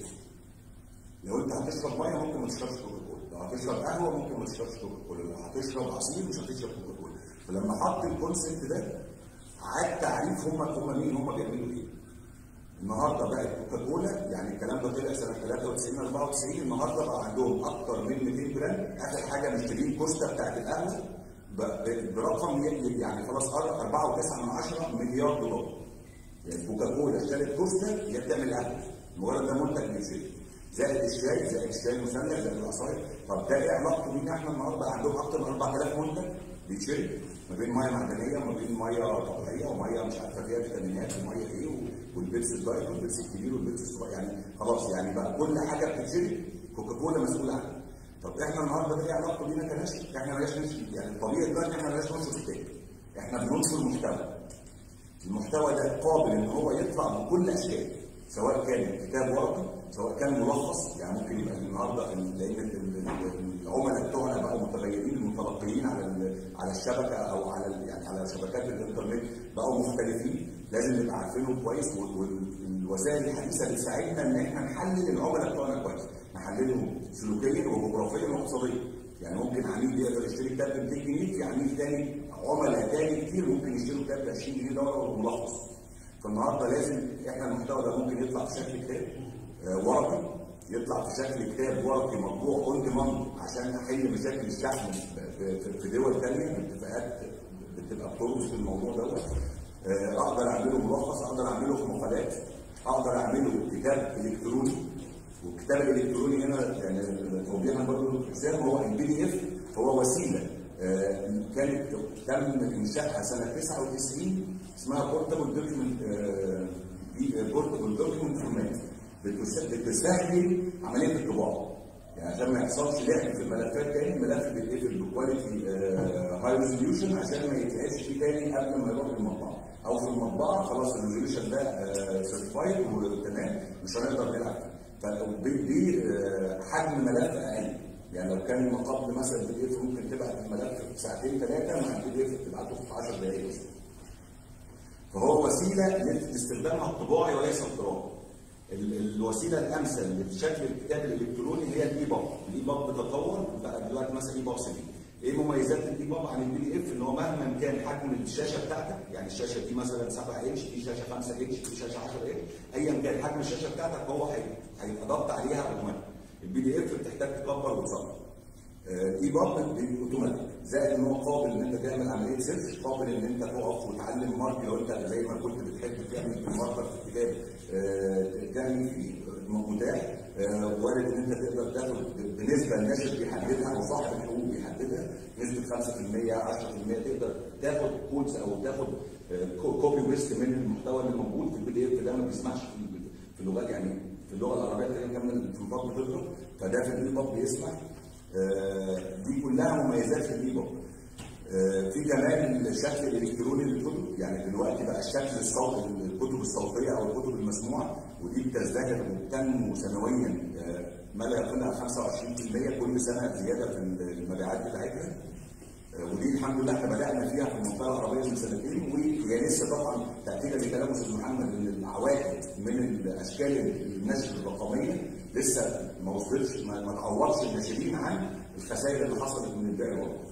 لكن المؤكد إن هي هتزيد زيادات كتير. يعني لو قلنا مثلا وقت الكورونا من أول يناير 2020 ل 30 6 مثلا اللي هو النصف الأول من السنة لا ممكن الأزمة كانت مأثرة على ناس كتير. من بعد 30 6 أو الكوارتر الأخير كمان من 2020 الأرقام زادت. يعني مبيعات اللي هي المبيعات الإلكترونية للكتب الورقية كمان يعني عندهم منصات لبيع الكتب الورقية زادت الكتب الالكترونيه زادت الكتب الصوتية زادت النسبة دي هتزيد بنسب أكبر. يعني لو زادت السنة اللي فاتت مثلا كانت بتمثل 3% و 4% في أول السنة وصلت لآخر السنة 10 15% وارد السنة دي تبقى 20 و 25% يعني النمو اللي هيحصل فيها ممكن يعدي من 30 و 40% آه لسه ما حققتش الحجم الكبير اللي يعوض المشي الورقي لكن على مدار الثلاث أربع سنين الجايين نظرا للتغيرات السريعة اللي بتحصل في العصر الرقمي اللي إحنا فيه لا هيبقى المستقبل لكل ما هو الإلكتروني سواء كنت بتبيع الكتاب الورقي عبر الإنترنت لأن خلاص أنت المنافذ بتقفل كورونا شكلها مكملة معانا في ازمات السفر والشحن والمعارض يعني امبارح لسه في في بريطانيا إن مش أقل من خمس سنين عشان نلعب كمان فدي ده مؤشر إن إحنا لسه يعني هنواجه بعض التحديات برضه في العمليات الطبيعية لتداول الكتاب الورقي فلازم يبقى عندنا البدائل سواء كان بكل اشكال النشر المتاحة بقى دلوقتي يعني ده مهم إن الناشر يبقى عارف إن هو بيطلع المحتوى ده المحتوى ده صالح إن هو يبقى كتاب يبقى سيناريو يبقى بودكاست. النهارده نتفليكس العالمية جت اشترت حقوق سلسله خمس أجزاء من سلسلة ما وراء الطبيعة واتعملت ده بدايته كان كتاب واتعمل مسلسل كسر الدنيا. النهارده هتلاقي نتفليكس بتكرر التجربه تاني. طب التجارب دي ينفع تتعمل؟ آه ينفع تتعمل واتعملت من اساتذتنا في في مصر وفي يعني في مصر تحديدا كمان من 10 15 سنة فاتت. اللي هو كان بداية ظهور ال- ال- ال blogs أو المدونات على الإنترنت دار الشروق عملوا تجربة فيها خدوا منها مجموعه يعني مجموعة كانت لطيفة جدا اتحولت لكتاب وبعدين اتحولت لأعمال سينمائية أو أعمال درامية. النهارده نقدر نعمل ده نقدر نعمل ده. فيبقى الناشر هنا عنده تاسكات جديدة مهم جدا إن يبص عليها انه إزاي يقدر يعالج أو يبتكر محتوى بشكل جديد يتناسب مع متطلبات العصر ده وينتجه بكافه أشكاله المختلفة. مش لازم هو اللي ينتج سينما لكن يقدر يبيع شركات إنتاج، مش لازم هو اللي ينتج دراما إذاعية يقدر يبيع بس المحتوى يبقى المحتوى الجيد هيفرض نفسه على أي قناة من قنوات البيع المختلفة أو قنوات العرض المختلفة. من أهم متطلبات العصر الرقمي دلوقتي لازم يبقى فيه سرعة. يعني يعني يعني خلاص يعني السرعة مطلوبة جدا القدرة على الإبداع مطلوبة جدا الفلكسبيليتي المرونه موجوده جدا. يعني لا- لازم الثلاثه دول يبقوا موجودين عشان إحنا كناشرين نقدر نع- نعبر هذه المرحلة. الم- يعني من حقنا إن إحنا نشتكي من حقنا إن إحنا يعني فعلا إن إحنا الثقافة في آخر أولويات الحكومات العربية مش مش الحكومة المصريه الحكومات العربية كلها. لكن نامل ان في الخمس سنين اللي جايين دول يبقى في نظرة قوية تساعدنا على الأقل في حماية حقوق الملكيه الفكريه لأن ده اهدار للاقتصاد الدولة اللي هو بيتجه دلوقتي للاقتصاد الرقمي فلو كل ما يمكن قياسه يمكن التحكم فيه النهارده الدولة بتتوجه للاقتصاد الرقمي بكل اشكاله لازم كمان إحنا يبقى في حماية لحقوق حقوق الملكيه الفكريه دي عشان قدرتنا على الإبداع هتنهار. المؤلف هيبطل الناشر هيبطل شركات الإنتاج كله كله هيقف الصناعات الإبداعية كلها اللي هي ممكن تبقى فعلا قوة مصر النعم للي إحنا عايزينه في الريادة المصرية للخمس للخمس 10 سنين اللي جايين هيبقى من خلال القوى الناعمه بتاعتنا اللي هي صناعه النشر. ده ملخص سريع على شكل اشكال النشر الرقمي وأهم نقطة فيهم ان إحنا نستخدم التكنولوجيا دي لأن التكنولوجيا الرقميه زي ما هي مثلا في الكتاب الورقي أو آه، الأحوال الحاليه لكن ليها مميزات كتير. من أهم مميزاتها إن إحنا لازم نعرف مين العميل بتاعنا. نقدر نحدده وده بيبقى متاح بسهولة على المواقع. تقدر انت لما بيبقى عندك الموقع بتاعك بتحدد بتوزيع جغرافي بتوزيع سني بتوزيع اقتصادي فتبدأ تعرف ال- ال- المستقبل بتاعك أو مين عميلك وعميلك عايز إيه. بكل بساطة بيبقى ليها حاجة اسمها ال limbic map. يعني دي دي حاجة بسيطة جدا. ال limbic map ال limbic map هي خريطة من سبع محاور للقيم الإنسانية. تلاقي كل عميل فيهم موجود في حتة. فتقدر تديله المحتوى بتاعه. يعني هي بتبقى متقسمة لثلاثه كبار اللي هي ال dominance وال stimulate وال balance اللي هي الهيمنة والمحفزات والتوازن. في حد بيبقى حابب إن هو يبقى مهيمن؟ يعني جواه طبيعته قيمه إنسانية وبيقابلوا فيها يعني هتلاقي فيها بقى إيه؟ ما بينها وما بين المحفزات الناس اللي بتحب ال adventure اللي بتحب كتب المغامرة وكتب اللي فيها مغامرات و thriller و crime يعني ده نوع. في نوع تاني مثلا اللي هو بيحب ال- الانضباط والتحكم. في نوع ثالث اللي بيحب الحاجات ال- التقاليد والأمن. يعني الكتاب ده فيه تقاليد وفيه أمن فيه يعني ده, ده نوع أقدر برضه أعرفه. في الناس اللي بتحب الانسجام والرعاية لا كتب كتب الأسرة وكتب التربية وكتب ال- العناية بالبشرة والعناية بالصحة والعناية بالجمال. ده جزء متصنف برضه في جزء ثالث الناس اللي بتحب ال pleasure وال openness اللي هم السعادة والمنفتحين دايما واللي عندهم أمل ده ده محور. المحور الأخير اللي هو الفن وال creativity الناس بتحب الحاجات اللي الساخره واللي فيها إبداع. لو عرفنا إحنا كناشر العميل بتاعنا فين في المنطقة دي نقدر ن create نقدر نخلق محتوى مناسب للمنطقة دي. فنوصل له إزاي هنوصل له بال analysis اللي إحنا عاملينها على على المواقع بتاعتنا. فيبقى انت كده عملت المحتوى المناسب للشخص المناسب بالنسبة لك فتقدر تكمل المسيرة اللي انت بتعملها ده بشكل مبسط كده اتمنى ان اكون اوجزته يعني مع حضرتك. أنا طبعا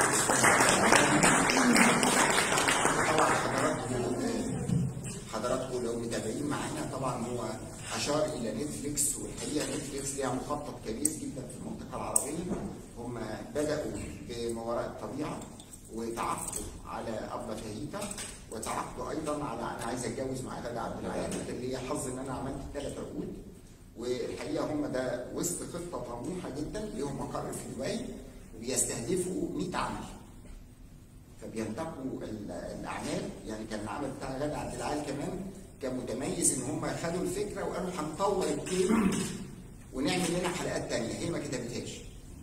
وخدت فلوس على هذا المبلغ على هذا العمل يعني اللي هو فكرة التريتمنت الجديدة للقصة بنفس التيمة.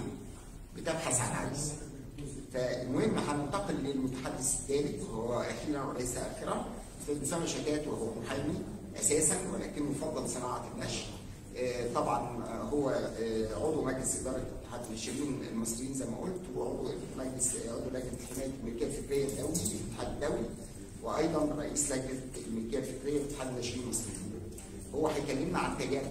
هل في تجارب تقدر تقول لنا عليها وتبقى مفيدة لينا كلنا؟ نعرف إزاي بيتم التعدي رقميا على المحتوى الخاص بالناشرين والمؤلفين. ما ننساش إن الناشر خلف المؤلف. فالناشر إذا كان بيخسر المؤلف بيطلع بره ال- الإبداع. إنما الناشر بيطلع خارج البيزنس. ممكن يشتغل حاجة ثانية إنما المؤلف اللي عنده موهبة ما بيلاقيش حد ينشر له بيشتغل بقى موظف. يبقى آه، أنا عندي أمثلة كثيرة جدا. اللي كان شغال محضر في محكمة اللي شغال تمرجي اللي شغال عامل للسيف ودي أمثلة لرموز كبيرة جدا موجودة في مصر دلوقتي. الحمد لله إن هم يقعوا في ناشرين محترمين بقوا مصادر للإبداع والثقافة. بسم الله الرحمن الرحيم. آه، طبعا بعد كلمة آه، أستاذي وأستاذنا الأستاذ محمد رشاد هو يعني يعتبر اتكلم في كل المواضيع وكل المشاكل اللي بتعاني منها صناعة أو مهنة النشر. فبعد كلمة الأستاذ محمد رشاد أنا أرى إن يعني هيبقى كلامي آه، فيه تكرار وإعادة لما تفضل بذكره. آه، في آه، ذكر هو في كلمته إن هو آه، أعاد بناء اتحاد المشرين المصريين عام 89 الحقيقة ديت أنا شاهد عليها لأن أنا شرفت إن اللي ايدني في اتحاد الناشرين المصريين هو أستاذنا الأستاذ محمد رشاد اللي هو قيمة وقامة نفتخر بيها كلنا آه، ونعتز بيها وبنتعلم منه حتى هذه اللحظة رغم إن إحنا يعني أنا شخصيا بمارس مهنة النشر بقالي 40 سنة. أنا أول كتاب طلعته كان 1981 آه، قيدت في اتحاد الناشرين المصريين اللي أنا قبل الأستاذ محمد رشاد الحقيقة ما كنتش أسمع عنها ولا كنت أعرفها. سنة 91 قيدت سنة 91 واللي قام بقيدي في اتحاد الناشرين المصريين هو أستاذي الأستاذ محمد رشاد. دي بس آه، في عجالة يعني. ده حقك يا فندم. آه، في نقطة أنا عايز أعرفها الأول بنفسي أنا اسمي أسامة شتات آه، صاحب دار نشر اسمها دار الكتب القانونية. عندنا ثلاث فروع في مصر وعندنا آه، فرعين خارج مصر. آه، إحنا متخصصين منذ انشأنا زي ما هو عنوان الدار مذكور في الكتب القانونية. إحنا كلنا كعائلة تخصصنا في نشر وتوزيع وإنتاج الكتاب القانوني ودراستنا أيضا قانونية يعني أنا وأولادي وحتى زوجتي كلنا الأسرة كلها متخصصة في مجال القانون فإحنا بنشتغل مهنة آه، يعني متقاربة من بعض ويعني يعني بنتعاون فيها على حسب دراستنا وعلى حسب ما اكتسبناه من خبرة يعني. آه، الأول أنا أحب أنا بوجه الشكر لقائد مصر وزعيم الأمة العربية الرئيس عبد الفتاح السيسي.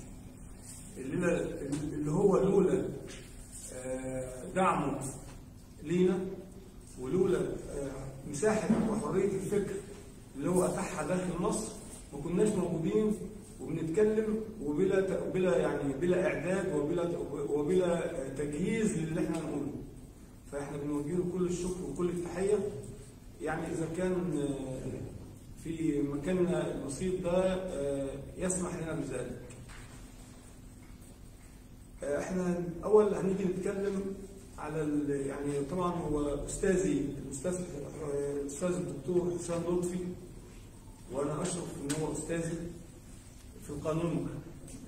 آه، هو خصني إن أنا أتحدث في مسائل خاصة بتجاربي خلال مدة النشر الطويلة اللي هي ال 40 سنة اللي أنا بدأت أشتغل فيها في الكتاب. فأنا هخرج عن الإطار ده حضرتك لأن طبعا بعد كلمة استاذنا الأستاذ محمد رشاد ما عادش في كلام جديد ممكن نقدمه للزملاء أو المستمعين. آه، إحنا بنيجي نتكلم عن معوقات النشر اللي إحنا بنواجهها على أرض الواقع. معوقات النشر في مصر هي للأسف كبيرة بداية من إن إحنا لو جينا شفنا أصحاب المطابع وأنا عندنا مطبعة خاصة بينا يعني بتطبع آه، لنا فقط يعني. آه، إن إحنا لما بنيجي نشتري أو بنيجي ننشئ آه، مطبعة بنلاقي معوقات كبيرة جدا في تجهيزها. تجهيزها من ناحية المعدات ومن ناحية إحضار أدوات الطباعة اللازمة. بنضطر إن إحنا بنشتري ما انتهت صلاحيته في أوروبا أو في بعض الدول العربية. يعني بيبقى في هنا تجار في مصر متخصصين في إحضار هذه الآلات وإحنا بناخدها منهم ونعيد تجديدها ونستخدمها. فإحنا أصلا من بداية التعامل وإحنا متكلفين آه، في في آه، إعداد وتجهيز المكان اللائق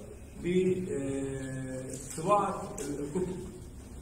يعني آه، دول أخرى عندها آه، مساحة من إن هم عندهم إعفاء في الجمارك عندهم تسهيلات كبيرة. الدولة بتاعتهم بتشجعهم إن هم يقتنوا أحدث المعدات وأحدث الأجهزة. إحنا هنا للأسف لا.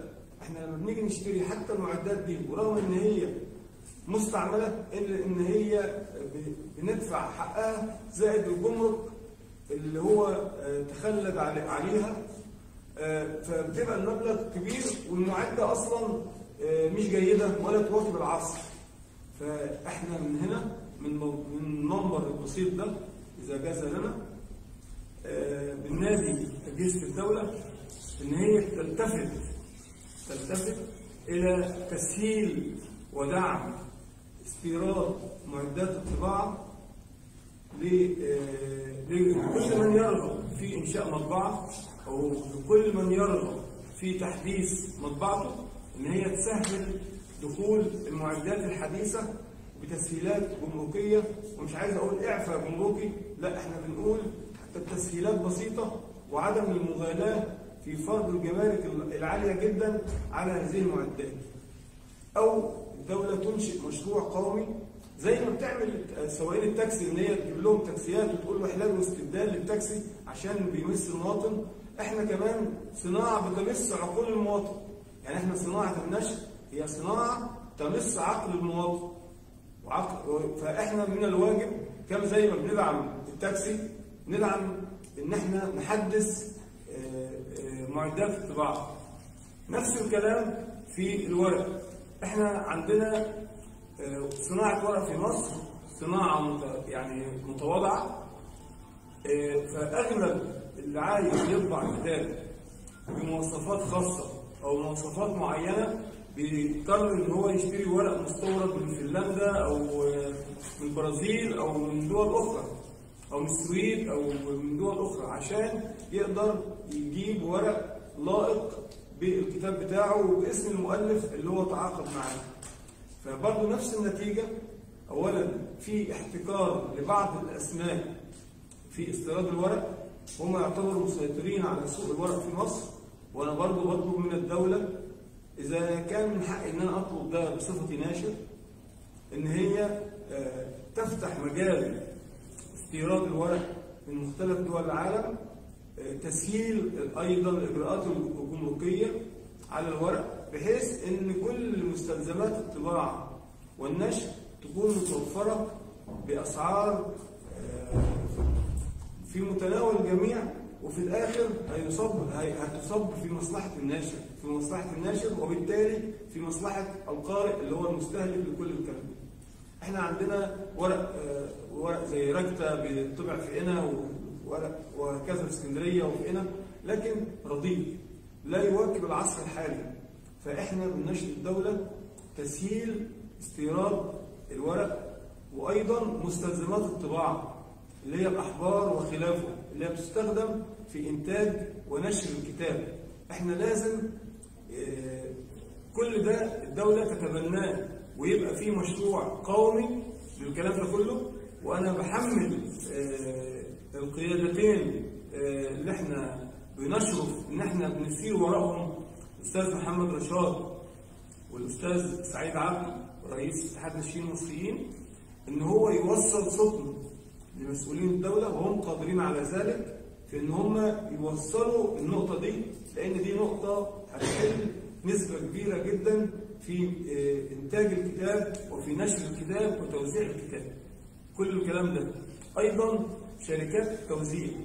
إحنا بنلاقي الشركات الرصينة المحترمة اللي هي بتوزع الكتب هي مين؟ هي أخبار اليوم دار المعارف الأهرام الجمهورية الكلام ده إحنا بنلاقي آه، معوقات لما أنا كناشر أودي كتب للجهات دي بلاقي معوقات في التعامل في آلية التعامل ليه؟ لأن بما أن دي الفروع الوحيدة المتاحة ولها فروع في, في آه، جميع أنحاء الجمهورية فالناس بتقبل إن هي تديها إنتاجها عشان توزعها عشان تحصل على أعلى نسبة توزيع على مستوى الجمهورية. فبالتالي عليها ضغط. فما بيبقاش فيه آه، تعاون كبير بين الكلام ده. فاحنا بننادي إن يبقى فيه آه، شركة مش شركة لتوزيع الكتب سواء إلكترونية أو ورقية موجودة ومسؤول عن تنشئها الدولة تكون تخصصها هي شغالة بس مش مش عمل جانب العمل الأصلي اللي هو يعني الصحافة وبجوارها توزيع الكتب. لا إحنا عايزين تبقى شركات خاصة وعدة شركات. ويبقى مثلا كل شركة لها توجه أو لها آه، تخصص في توزيع الكتب بحيث إن يبقى في مجال مفتوح ونفتح منافس كبيرة على مستوى الجمهورية لتوزيع الكتاب عشان نحقق رواج من الكلام ده كله. آه، حضرتك بالنسبة لمكافحة التزوير طبعا آه، أستاذنا أستاذ محمد رشاد بنتكلم واسهل في موضوع مكافحة التزوير أنا ليا إضافة بسيطة على الموضوع إن مكافحة التزوير لما بتنزل شرطه المصنفات تظبط آه، أو تضبط عشان لغويا صح تضبط آه، أحد المزورين بتروح تضبط مين؟ يا إما بقى على الرصيف أقصى ما- لديه يعني عدة نسخ خمسة ثلاثة اثنين نسخة لو كان يعني آه، الراجل توزيعه جبار هتلاقي عنده 10 نسخ من الكتاب المظبط. طيب أنت بتمسك دلوقتي أضعف حلقة في مجال التزوير وغالبا ممكن ما يكونش عارف إن الكتاب مظبط.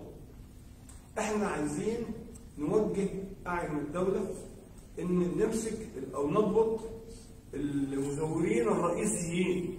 مش إن أنا أجي في أضعف حلقة وأروح أمسك واحد قاعد على الرصيف هو كل الحكاية عايز يكسب 20 جنيه ولا 10 جنيه وأمسك منه عنده ثلاث نسخ ويبقى أنا كده بحارب التزوير؟ لا أنا ما بحاربش التزوير. لما مسكنا الرؤوس الكبيرة المزورين الرئيسيين يعني فعلا هنوفر هنوفر مبالغ ضخمة للناشرين وهنحمي الناشرين.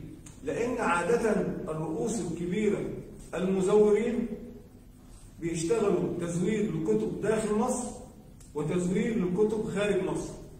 وإحنا آه، على مدار السنين اللي مارسنا فيها مهنه نشر ياما شفنا وإحنا بنشترك في معارض خارجية في جميع دول العالم العربي بنشوف كتب لكبار الناشرين في مصر وفي لبنان وهم بيزوروا الكتب آه، ويوزعوها في آه، خارج مصر.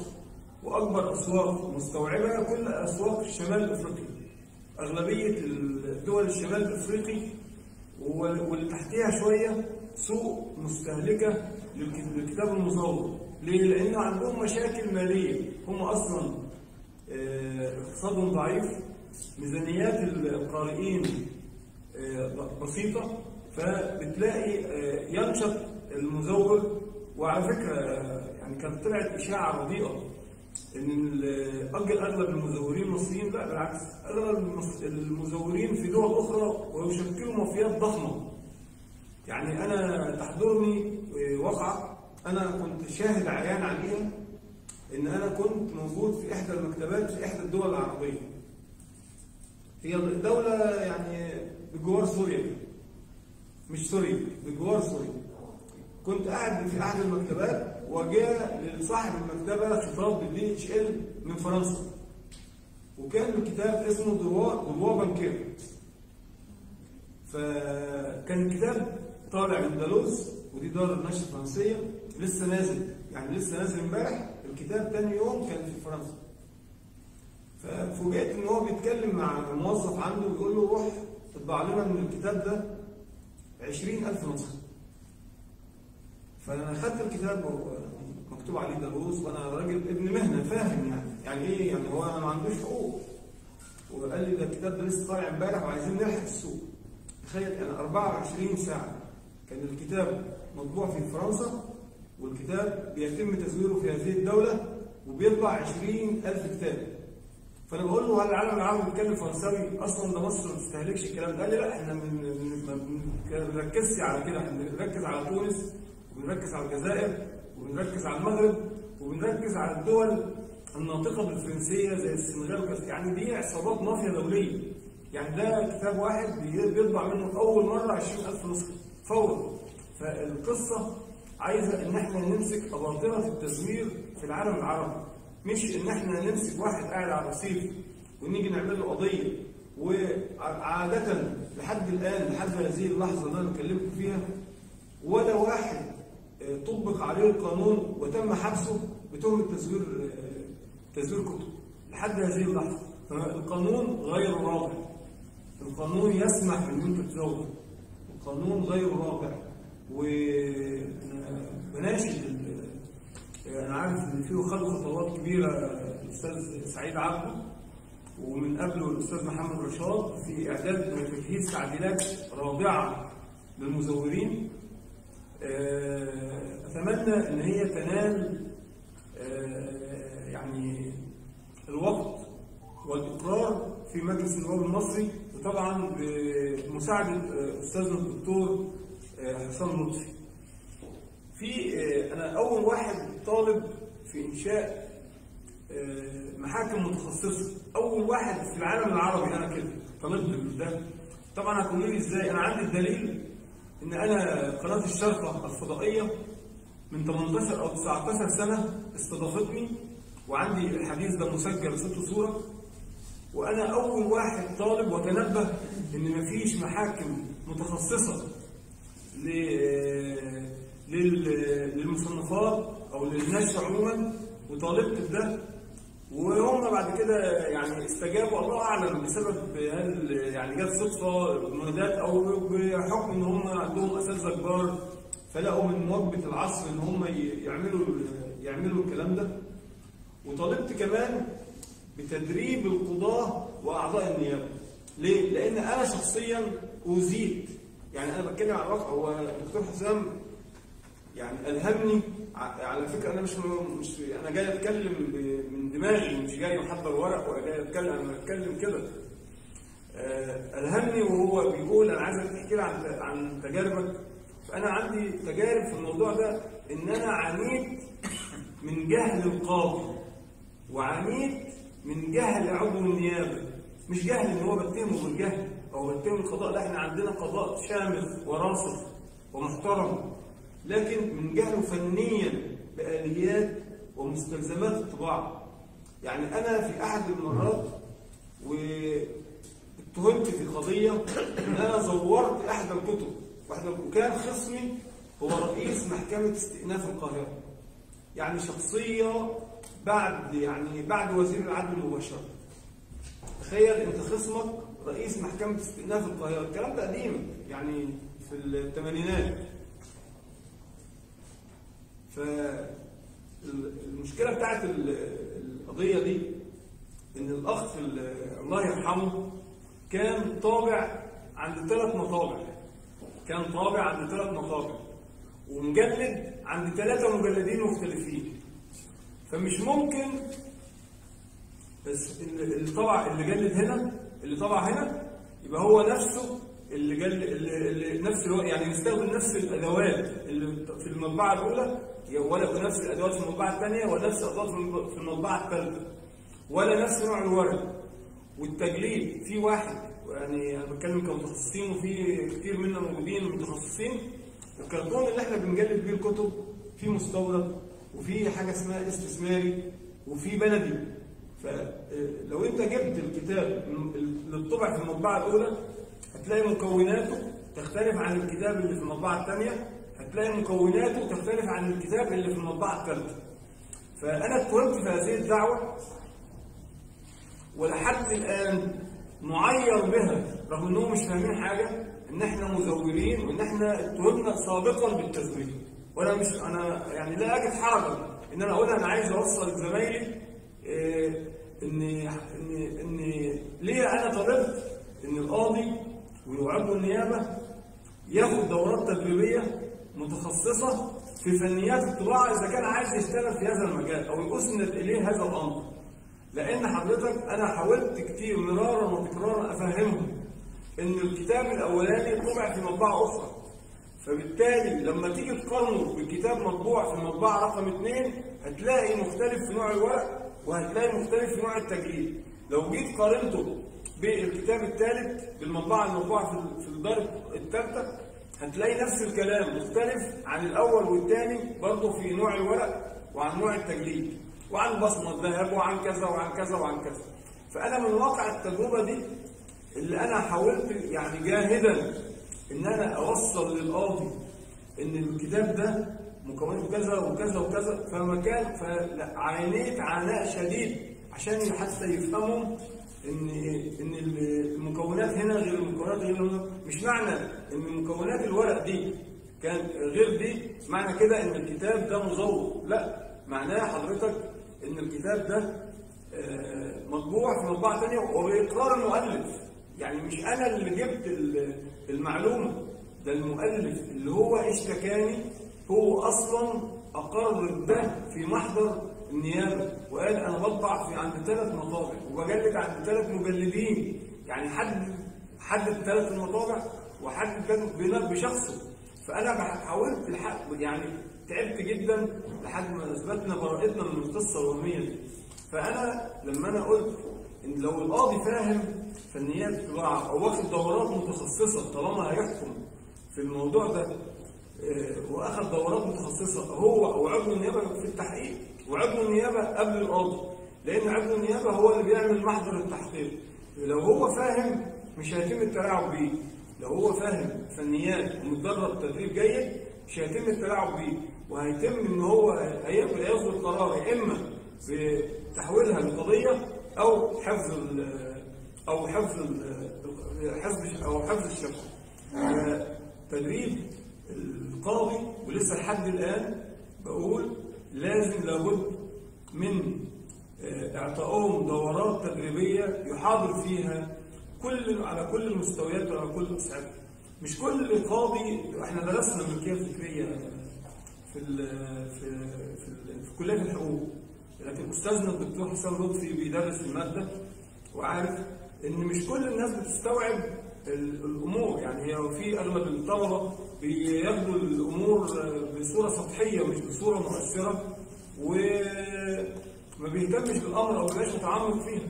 فلما يجي حاضر فنيين للقضاء ومش عيب إن إحنا نعلمهم طالما إن هيحكموا بين الناس لازم يبقى عندهم كل آليات أو ممكن استحداث نص إن يكون أحد أعضاء المحكمة فني طباعة أو متخصص. أو عضو اتحاد ناشرين أو مسؤول في اتحاد الناشرين.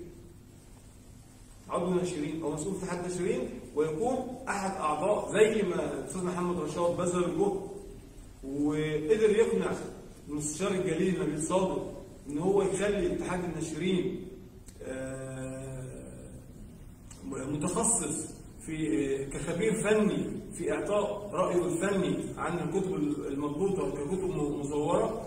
إحنا كمان ممكن نطالب بان إحنا نحدث الامر يا اما اعطائهم دورات متخصصة يحضر فيها أستاذنا الدكتور حسن لطفي واعتقد إن هو بينتدب أحيانا في مصر والدول العربية بيقوم بهذا الدور أو آه، استحداث آه، منصب يضاف لهيئة المحكمة يكون فيه متخصص منتدب من اتحاد الناشرين المصريين اتحاد الناشرين العرب يكون أحد أعضاء الهيئة آه، للفصل في هذه الدعوة حتى نحكم بين الناس بالعدل.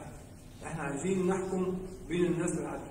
لأن الموضوع شائك والموضوع فيه تكاتف والحقيقة الدولة في بعد جائحة يعني كنا بنعاني قبل جائحة كوفيد 19 بعد جائحة بقينا نعاني أمرين.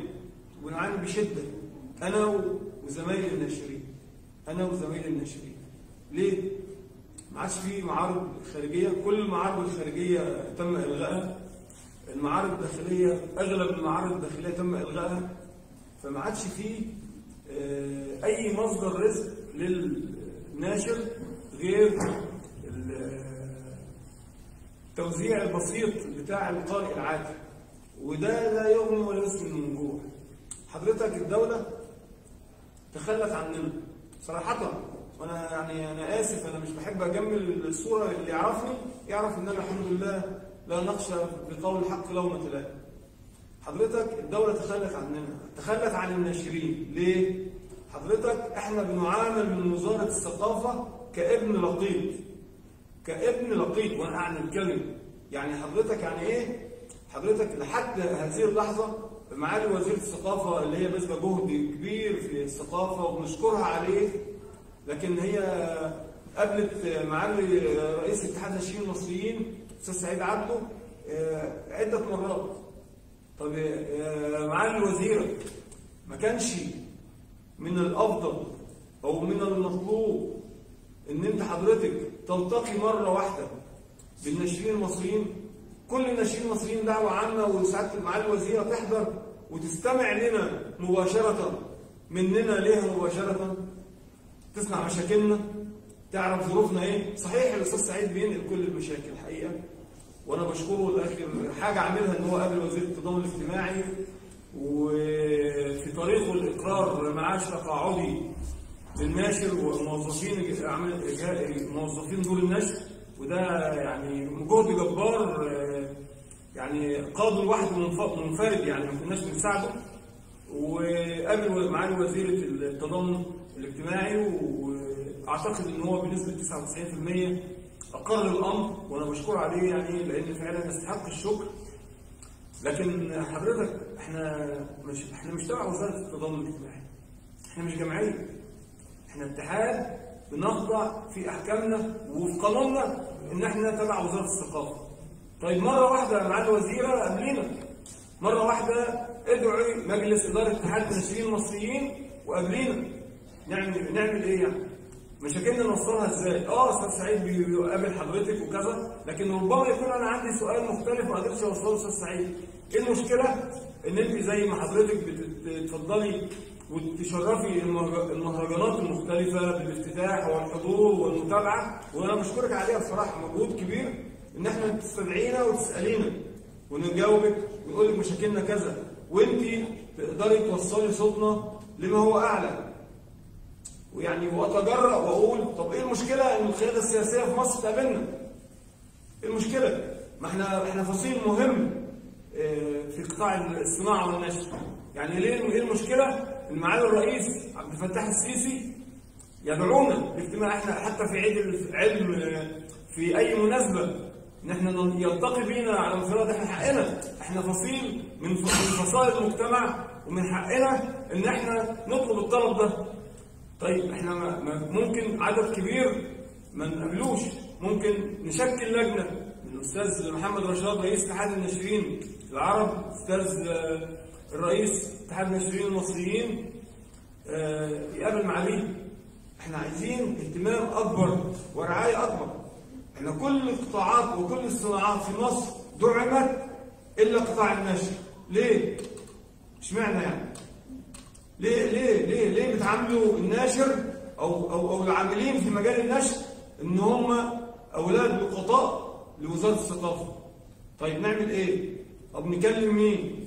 طب ننادي مين؟ فرصة يعني فرصه فرصة إن إحنا نلتقي في هذا الجمع البسيط. لعل وعسى صوتنا يوصل ولعل وعسى الناس تسمعنا ولعسى ولعل وعسى آه، يوقفوا بحال الناشر لأن 90% من دور النشر العاملة في مصر هي دور نشر ضعيفة اقتصاديا وبتحتاج الدعم وبتحتاج الم- المساندة وبتحتاج المساعدة. وأنا رأيي وأقول الأرزاق على الله لابد من اهتمام الدولة بقطاع النشر لأن إحنا إحدى وسائل القوى الناعمة في العالم العربي. إحنا وسائل احدى القوى احدى وسائل القوى الناعمة في العالم العربي. ليه؟ إحنا فكرنا بيوصل لما أنا أفتكر إن أنا في إحدى الزيارات لإحدى الدول العربية قابلني واحد قابلني واحد وهو بيسلم عليا كده بيقول لي أنا حاسس إن أنا سلمت على طه حسين. يعني بيقول أنا حاسس إن أنا سلمت على طه يعني الأدباء بتوعنا والمفكرين بتوعنا لهم قيمة كبيرة في آه، العالم العربي. فإحنا اللي بنوصل الفكر الفكر بتاع ادبائنا وعلمائنا لكل أنحاء العالم. فمن حقنا إن إحنا يكون لنا آه، دعم ومساندة من الدولة. أنا خلاص أنا بشكركم. شكرا جزيلا. طبعا مهم جدا الاستماع إلى صوت والإنصات إلى صوت أصحاب المصلحة وأعتقد الندوة دي في إطار هذا اهتمام وزارة الثقافة إنها وافقت على هذه الندوة ودي بتوافق عليها من كل الجهات هي المقصود بها إن في ندوتين ورا بعض في يومين متتاليين واحدة بتتكلم عن التحديات الرقمية وواحدة بتتكلم عن تحديات القنصره بوجه عام. بكرة في ندوة تانية في نفس التوقيت هتتحدث عن نفس الموضوع ولكن من زاوية القنصره. فالحقيقة ده اهتمام كبير جدا من جانب وزارة الثقافة إنها بدأت تضعنا في دائره الضوء آه، ومؤشر إيجابي جدا إن وزارة الثقافة ناشر أيضا. لازم نضع ده في الاعتبار ونضع في الاعتبار أيضا إن إحنا كاساتذه الجامعة بتكلم عن نفسي وبعض زمايلي من الحاضرين إن إحنا بنعاني من فكرة ال- النشر وبنعاني من مشاكل النشر وبنتكلم فلوس كتيرة جدا على أساس إن إحنا نتيح المحتوى إنما اليوم وإحنا بنتكلم عنه حتى لا تنقلب إلى جلسة فضفضة هو إن إحنا بنتكلم عن تحديات الرقمنة. الرقمنة الحقيقة آه، مشكلة كبيرة جدا ومحكمة العدل الأوروبية أصدرت عدة أحكام في شأن مواجهة الرقمنة. آه، أوروبا بكل قوتها التشريعية وقوتها البرلمانيه ما قدرتش تطلع تشريع قوي جدا في هذا المجال وبتتعاون مع الولايات المتحدة الأمريكية بيحاولوا يطلعوا حاجة ملزمة. عندنا ثلاث حاجات موجودين ممكن إن إحنا ننضم ليهم ولجنه الملكيه الفكرية وافقت عليهم. الانضمام لاتفاقيه WCT اللي هي دبليو اي بي أو كوبي رايت تريتي اللي هي اتفاقية حق المؤلف الخاصه بال WIPO وهي المنظمه العالمية للملكيه الفكرية منظمه من المنظمات المتخصصه للامم المتحده WPPT اللي هي بتتكلم عن حماية الاداءات الصوتية وهي برضه سنة 96 وعندنا في اتفاقيه أوسع للتجريم الجنائي على الإنترنت اتفاقيه بودابست دي مش تابعة للملكيه الفكرية بس في الإجرام بوجه عام باستخدام تقنية الإنترنت. عندنا نصوص في قانون تنظيم الاتصالات يجب أن تطبق وتطبق بحزم ودي بيستفيد منها آه، المنصات الالكترونيه وبتستفيد منها القنوات اللي بتبث بت- بتقوم بالبث فضائيا ورقميا فاللي يهمنا وإحنا بنتكلم في الموضوع ده إن إحنا بنطرح المشكلة.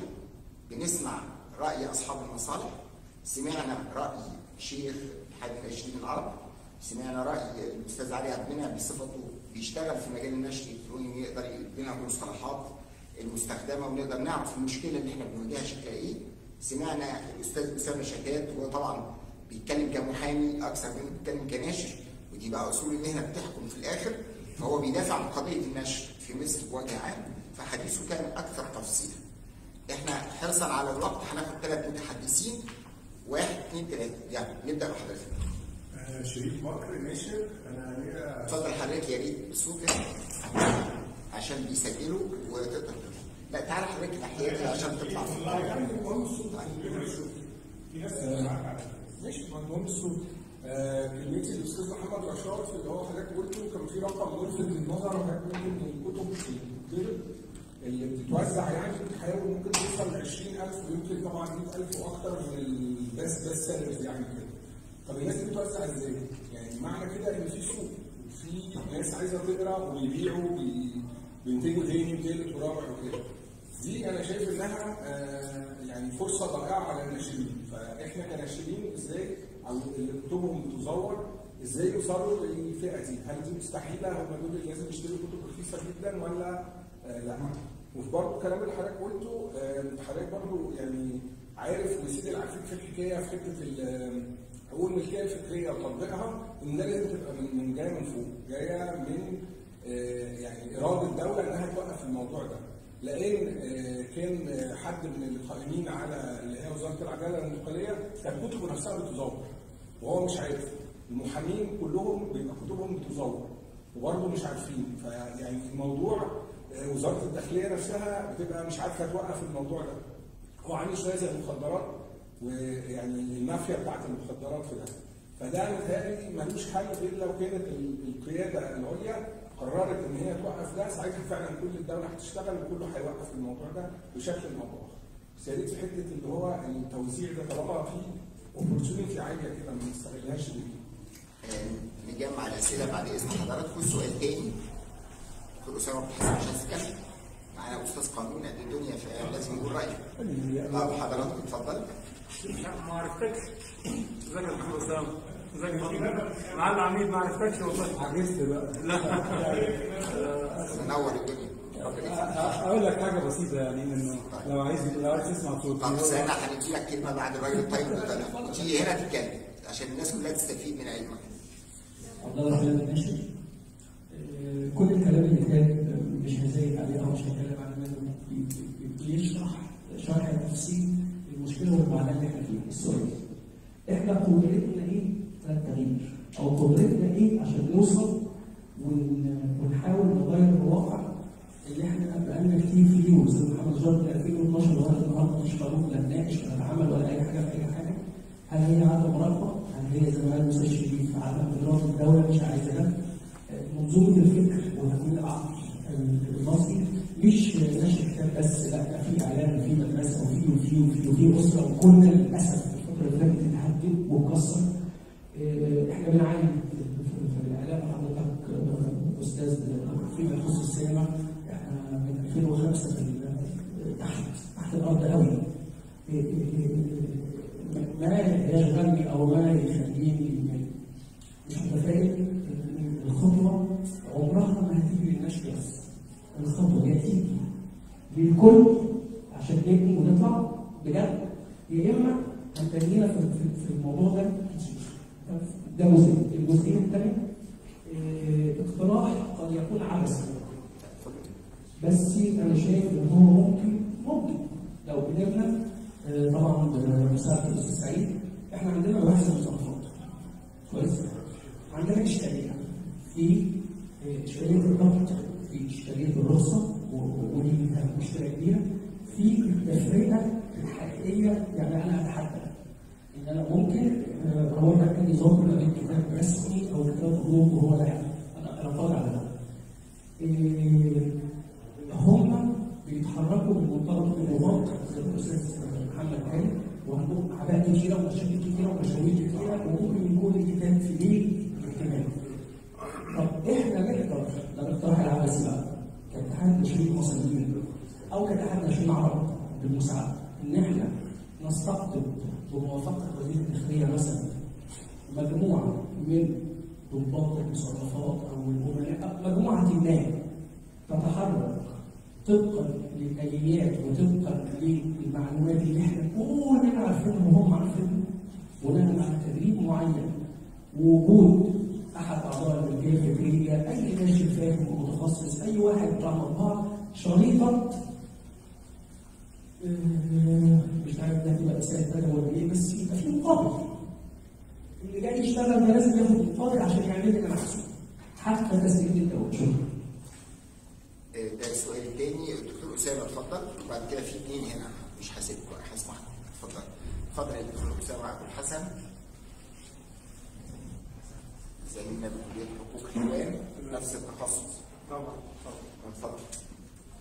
أنا اسامه ابو حسن أستاذ رئيس قسم القانون المدني كلية الحقوق جامعة ألوان. سعيد جدا بوجود هذه الندوه القيمه هو في أول نقطه طبعا بتكلم عن تجربتي الشخصية لما الاقي تلامذتي في معظم الدول العربية يقولوا لي كل ما فاتت عندنا دكتور اسامه أقول لهم إزاي؟ إذا كان بكلم الناس يقولوا لي نفذت. يقول عملناها من على النت يا دكتور اسامه أنا ببقى سعيد طبعا ان ان اني بقابل ناس كتير في العالم العربي وكلهم قايلين كل مؤلفاتي بس فين الجانب المالي؟ هم أنا باخد الجانب الأدبي بس. طيب دي النقطة الأولانية، النقطة الثانية طبعا فيما يخص ال- النشر الرقمي كما أن الجريمة الإلكترونية فيجب أن تكون وسيلة المكافحه الإلكترونية. يعني في القانون الفرنسي آه، حاطين حاجة بسيطة قوي قالوا لابد إن كل المواقع توفر وسيلة فورية إلكترونية بحيث إن أنا وأنا على الموبايل بتاعي لو شفت كتابي بيتسرق ها؟ ببلغ بنفس الطريقة. إذا إيه يعني طبعا مش هتكلم عن التدابير ال- التكنولوجية انه انه انه انه هي مش جوجل وإنستجرام وكل المنصات دي دي كلها مؤسسات آه، وشركات بتعمل من خلال إطار قانوني كل كل كل هذه ال- المنصات أو وسائل التواصل أو ايا كان مسماها التكنولوجي آه، ملزمة بذلك ملزمة إنها آه، بمجرد الإبلاغ آه، تحجب تحجب هذا هذا هذه الجريمة اللي تمت آه، الالكتروني. الحاجة الثالثة هي هل بس التجربة الفرنسية عشان برضه أنضم بس ان إحنا مش هنقدر ننفصل عن المجتمع بمعنى إنه آه الكتاب اللي بنجيبه ب 300 يورو الكتاب الفرنساوي ب 400 يورو. الكتاب ده ليه الأستاذة فيني أو أو أي, أستاذ من الاساتذه الفرنساويين قاعد وحاطط رجل على رجل وقاعد في بيته وقاعد في مكتبه وعمال يبدع ويعلق يوم بيوم على الأحكام ويضيف الجديد ليه؟ لأن في لأن في احترام لحقوق النشر طيب المجتمع شكله إيه؟ المجتمع شكله شكله شكل تاني خالص. يعني أبسط حاجة إن إن إن في القانون الفرنسي نفسه آه، عاملين إنه آه، مكن التصوير اللي موجود في المكتبات مكنه التصوير بتعد بتعد تم كام لقطة. وطبعا أنتوا عارفين مكنه التصوير هناك زي باستعمال الفيزا. وبيحسم وكل ده بيدخل على صندوق. أنا كمؤلف آخر كل سنة في- تاريخ أو في قانون ما بيجي لي مبلغ من هذا الصندوق اللي هو صندوق ال- النسخة المجانيه ده اللي هو بيتخصم من بيتخصم من ال- ال- التصوير. تاني حاجة مين مين بيشتري كتب القانون في فرنسا؟ مكاتب المحاماة بتشتري. كل محكمة فيها عدد كبير جدا من النسخ كل كلية حقوق بتشتري عدد كبير جدا من النسخ كل من يعمل بالقانون فيجد فبيبقى المؤلف والناشر الاثنين حاطين رجل على رجل لأن هم عارفين إن المؤلف الأصل بتاعهم اللي هو مش منسوخ ولا مسروق موجود في كل مكان وباعداد كافية للناس ال- اللي بتطلع آه، ويحصل على آه، مقابل لذلك يعني آه، جايز دول ثلاث نقط فيهم نوع من الفضفضة. أتمنى إن أنا لما أجي في مرة ثانية أكون محضر حاجة مفيدة أقدر شكرا. إن شاء الله هنستضيف الدكتور اسامه في ندوه في شهر ابريل إن شاء الله وهيتكلمنا عن مشاكل الرجال الفكريه حضرتك وبعد حضرتك. اتفضل إحنا بس لازم نسلم القاعة بعد 10 دقائق نضع هذا في الاعتبار عشان في ندوة بعدينا في احتفالات أخرى مساء الخير أنا إبراهيم ماشي ما اعتقدش إن عندي كتير يعني بس أنا عندي ملحوظه بالنسبة للتسويق. 90% من بعد الرصيد هم المصدر الرئيسي بتاعي كده المزور فبعد الرصيد دول هم أصلا اغلبهم 70% منهم على الاقل ممثلين ضرائب يعني الداتا بتاعتهم موجودة عند المؤسسات القومية. يعتبرهم بياخدوا ضرائب فدي نقطة أعتقد إنها ممكن نتحكم فيها لو تم من بيع كتاب المزور يبقى أكيد هنق- يعني هنحجم نسبة توزيع الكتاب المزور من خلال التحكم في البعث الرسمي. دي نقطة، النقطة الثانية إن إحنا طبعا نتمنى دعم الدولة للناشئين في حالة زي دي إحنا ممكن لو حصل أي دعم على الورق على المطالع زي ما الأستاذ أسامة يبقى ممكن نعمل كتاب شعبي. نسخة شعبية زي ما كان الكاتب عمر طاهر قبل كده إن لو في نسخة شعبية من الكتب أكيد برضه هتوفر على القارئ اللي مش قادر يشتري كتاب بسعر عالي قوي فلو الدولة دعمتنا أكيد هيبقى في فرصة كويسة قوي إن إحنا نقدم كتاب شعبي بسعر. شكرا. أنا عايز أفكرك برضه لما اتعمل مبادره آه، مكتبة الأسرة والكتاب كان بيتباع بجنيه واثنين بقى يتزور ويتباع ب 30 اتفضل بكام؟ ب 30 جنيه في سوق الاسبكيه أنا عندي أنا عندي حالات آه بياخد الكميات كلها ويغير سعرها ويبيعها ب 3 جنيه 30 جنيه ب 70 جنيه مساء الخير محمد نبيل المحامي آه، باحث ماجستير في التقييم والوسائل البديهيه وتسويق الموزعات كليه حقوق جامعه الولايه شكرا جزيلا على المعلومات القيمه فندم أنا سعيد جدا جدا جدا بس أنا عندي تخوف فندم حابب انقله لحضراتكم أنا مش ان أنا راجل قانون واعمل بحث أو اعمل كتاب يا فندم ويجي يتسرق مني أنا مش متخيل أنا ممكن اقفل يا فندم بقى وأغير المشروع. دي نقطة. آه، النقطة الثانية يا فندم أظن إن إحنا لو رجعنا للأصل العام على عقد شريعة المخاطبين لو أنا راجل قانون وبتفق مع ناشر يا فندم أو دار نشر على نشر كتابي أو نشر بحثي أظن إن أنا أقدر أحكم الكلام ده كله ببنود قانونية. أنا عندي حزمة من التشريعات الموجودة أوريدي أقدر أستخدمها فيما يخص مثلا على سبيل المثال القوانين المستحدثة يا فندم زي بتاع 2018 الإدارة الإلكترونية زي حماية البيانات الشخصية 2020 القوانين يا فندم رجال القانون دايما يا فندم إحنا مسؤولين بجميع التشريعات الموجودة آه، باستمرار ولكن لازم نبقى update دايما. فأنا أظن يا فندم ان إحنا لو قدرنا نعمل control على ده ده هيبقى نقطة مهمة جدا win win situation للناشر وللمؤلف دي نقطة، النقطة الثانية يا فندم أنا أقدر أحكم العقد بتاعي آه، آه، تلك المنازعات يا فندم تحتاج إلى طبيعة خاصة في فضها. لو حطينا فيها يا فندم بند التحكيم أو الوسائل البديلة آه، أنا شايف إن ده يبقى حل جميل جدا. دي نقطة النقطة الأخيرة يا فندم فيما يخص لفظ التزوير أنا عارف إن التزوير يا فندم ده بيرد على المحررات الرسمية.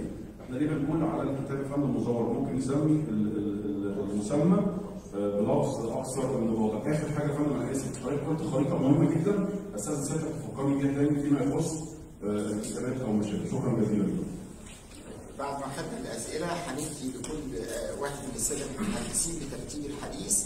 التعقيب في دقيقتين إلى ثلاث دقائق بحيث إنه يرد على الجوانب اللي بتتعلق. فيه. اتفضل يا فندم. نبدأ بالأستاذ محمد رشاد.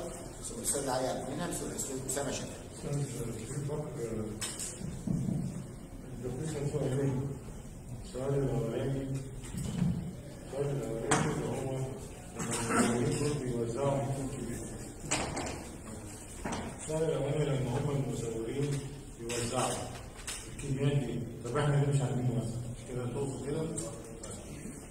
آه، المزورين دول آه، أولا زي ما قلت أنا في الكلام إنه بسببهم القارئ فقد الثقة فينا لأن في فرق في السعر مش أقل من 60% بين كتاب الأصل وكتاب المزور كويس؟ المزور نفسه ما بقاش أنا قلت الكلام ده. مش بيعتمد على السوق المصري بس؟ ده بي- بيصدر للخارج يعني بالك جاي شكوى من أحد الزملاء أعضاء مجلس اداره العام اتحاد مشين عرب وهو بيبلغ على أساس إن دي الكتب للدار المصرية والبنية وبر الشروف ودون ومش عارف وكيان دول النشر إيه موجودة. آه، في البحرين. في البحرين. واخد بالك في البحرين. البحرين دي يعني أكبر واحد فيها المكتبه الوطنيه ويطلع إن ابن بتاع صاحب المكتبة الوطنيه فروع بيه ابنه عامل مكتبة ثانية باسم ثاني واخد بالك لوحده. وتقريبا بيستورد الكتب المصرية اللي هي بتسمعها واخد بالك وليها كتب مزوره هناك. وهو حتى كان له في كتب دي موجودة ورفع هو هناك قضية. وأنا يمكن ده بمناسبة السؤال بتاع حضرتك إن بقول يا أستاذ سعيد لازم تشوف حل أنت ومجلس الإدارة. إزاي إزاي دايما يبقى في حملات تفتيشية على المصدر على الشحين على شركات الشحن. هم أس البلاء بالنسبة لنا هم أس البلاء. لأن تزوير الكتاب ما بقاش بس داخل يعني لو أنت بتصور كتاب منه أنت دلوقتي بتبيع منه بره أكتر. أنت بتلاحظ في أي معرض تلاقي شاحنين مثلا آه، 15 كونتينر وفي منهم خمسة ما يخشوش المعرض. رايحين للناس دي وما بقاش زي ما قال الاخ أسامة انه بس شمال لا ده بقى في الخليج موجود الكلام ده. انت عندك آه، واحد من أشهر المزورين الدولة عارفاه ورئيس الشرطة عارفاه واخد بالك بيتباهى انه بيزور الكتاب الأجنبي ويبطل يزور الكتاب المصري. وبيشحن وبيشحن في الكونتينر للسعوديه عندك أحد شركات الشحن عنده عربيتين أو ثلاثة؟ كل أسبوعين بيطلع عربية للسعودية. فيها كتب مزورة كتب أكاديمية للجامعات. واخد بالك؟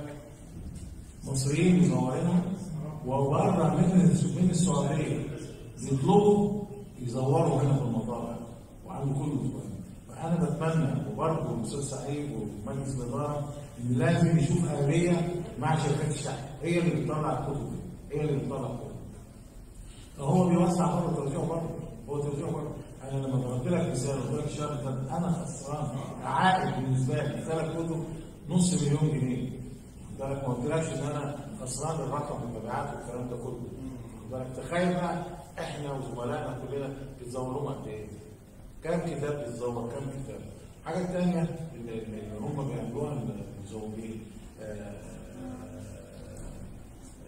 متواجدين في المحافظات وإحنا مش قادرين نوصل للمحافظات في قرية على فكرة أنا ضد الحسابات الدولية والقرية العرض فيها ربع صفحة ونص الكلام ده كلام فاضي بدليل إن إحنا الناشرين رغم الظروف اللي موجودين بنحاول نطبع طبعة واثنين بقدر المستطاع لكن مزود بيبقى قصادنا في قارئ موجود بس أنت مش قادر توصل له لأن التكلفة الاستثمارية لإنشاء اي أي منفذ تجاري مكلف جدا.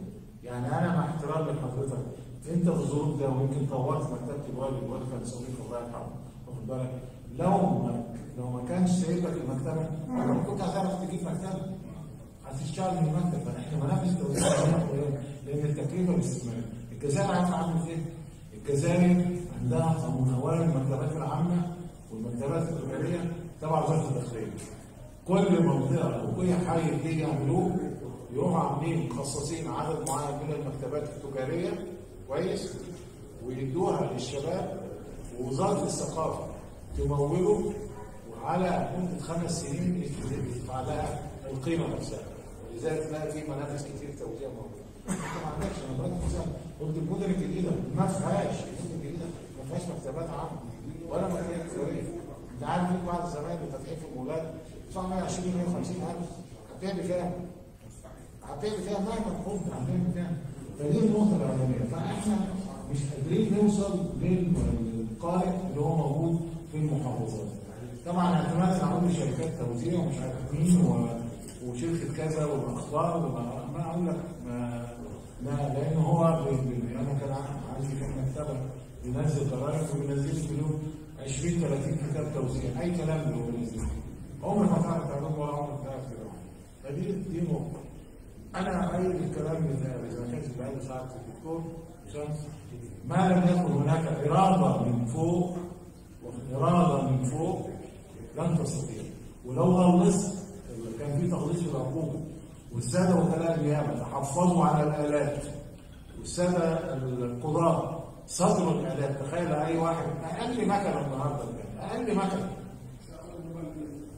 أقل مكنة. واخد بالك وصدرت صدرت. أكيد هيتربوا أكيد هيتربوا ولعلمك هم معروفين. هم معروفين معروفين. في اللي في المنصورة في القاهرة وهنا وهنا وهنا. لكن للأسف إحنا مش قادرين نمسكهم لأن في الآخر زي ما قال الاخ اسامه بتجيب تجيب مع بتاع الفرش. وعلى فكرة العيال الموزعين دول بقى الحلقة الثانية معظم الفرش بتاعتهم. معظم الفرش بتاعتهم. بمعنى إن بيجيب عيال صغيرة ما عادش بتراء ولا أي حاجة ويقفوا كده كل واحد عنده ثلاث أربع فرش. وبعدين المزورين أغنى منك. أغنى منك. عندهم مصانع وعندهم شركات وعندهم وعندهم وعندهم وعندهم وأنت بتعاني من هذا فاللي إحنا بنقوله إن هو لازم يكون في إرادة بطلب من الأستاذ سعيد إن هو يشوف حل مع شركات الشحن وهم مش كلهم وراه أنا هدفع أنا مش عرفني هو جاي ليه لا هو عارف لأن السعر اللي بياخده منه غير السعر اللي بياخده منه طبيعي. لأن عارف فلان وفلان وفلان هنستاذن ننقل الكلام للاستاذ علي عبد المنعم عشان الندوة الثانية بي- بيستعجلونا عشان داخلين مكاننا بكره في ندوة ثانية عن الفلسفه الأستاذ سعيد عبده هو المسؤول عنها. مع الدكتور خالد العمدي.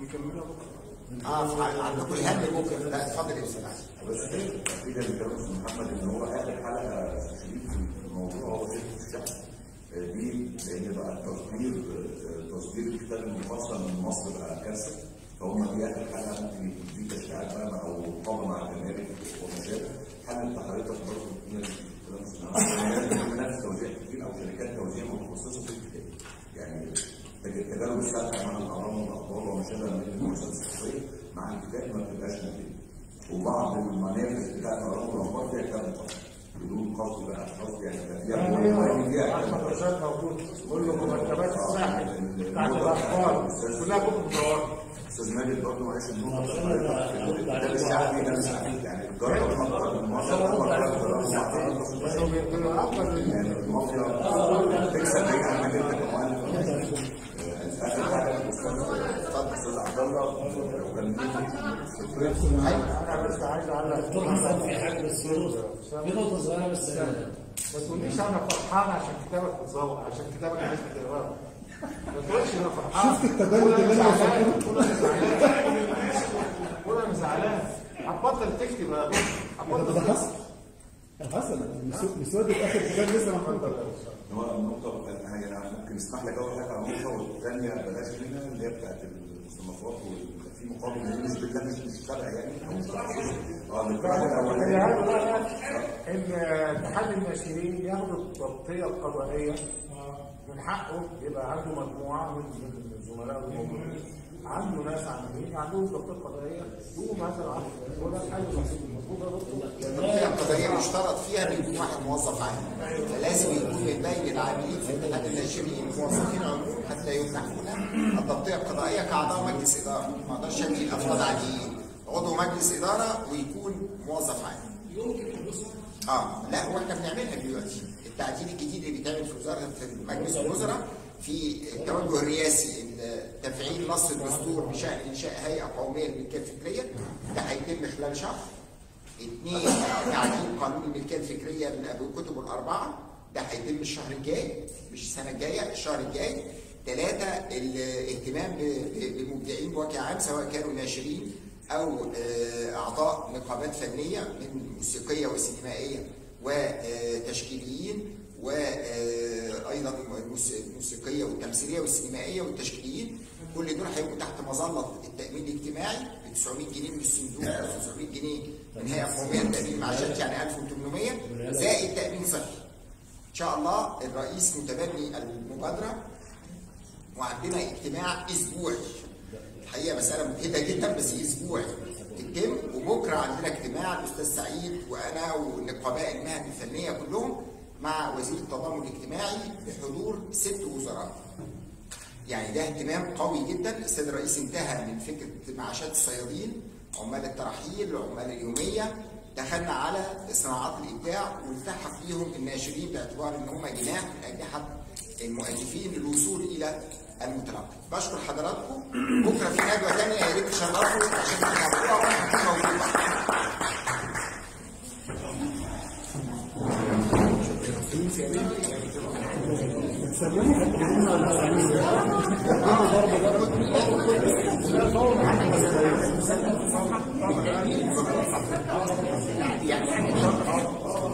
شكرا يا سعادة الرئيس. خطير. يعني برضه نفس المدرسة وهو أستاذ كبير قوي نشرب في حاجة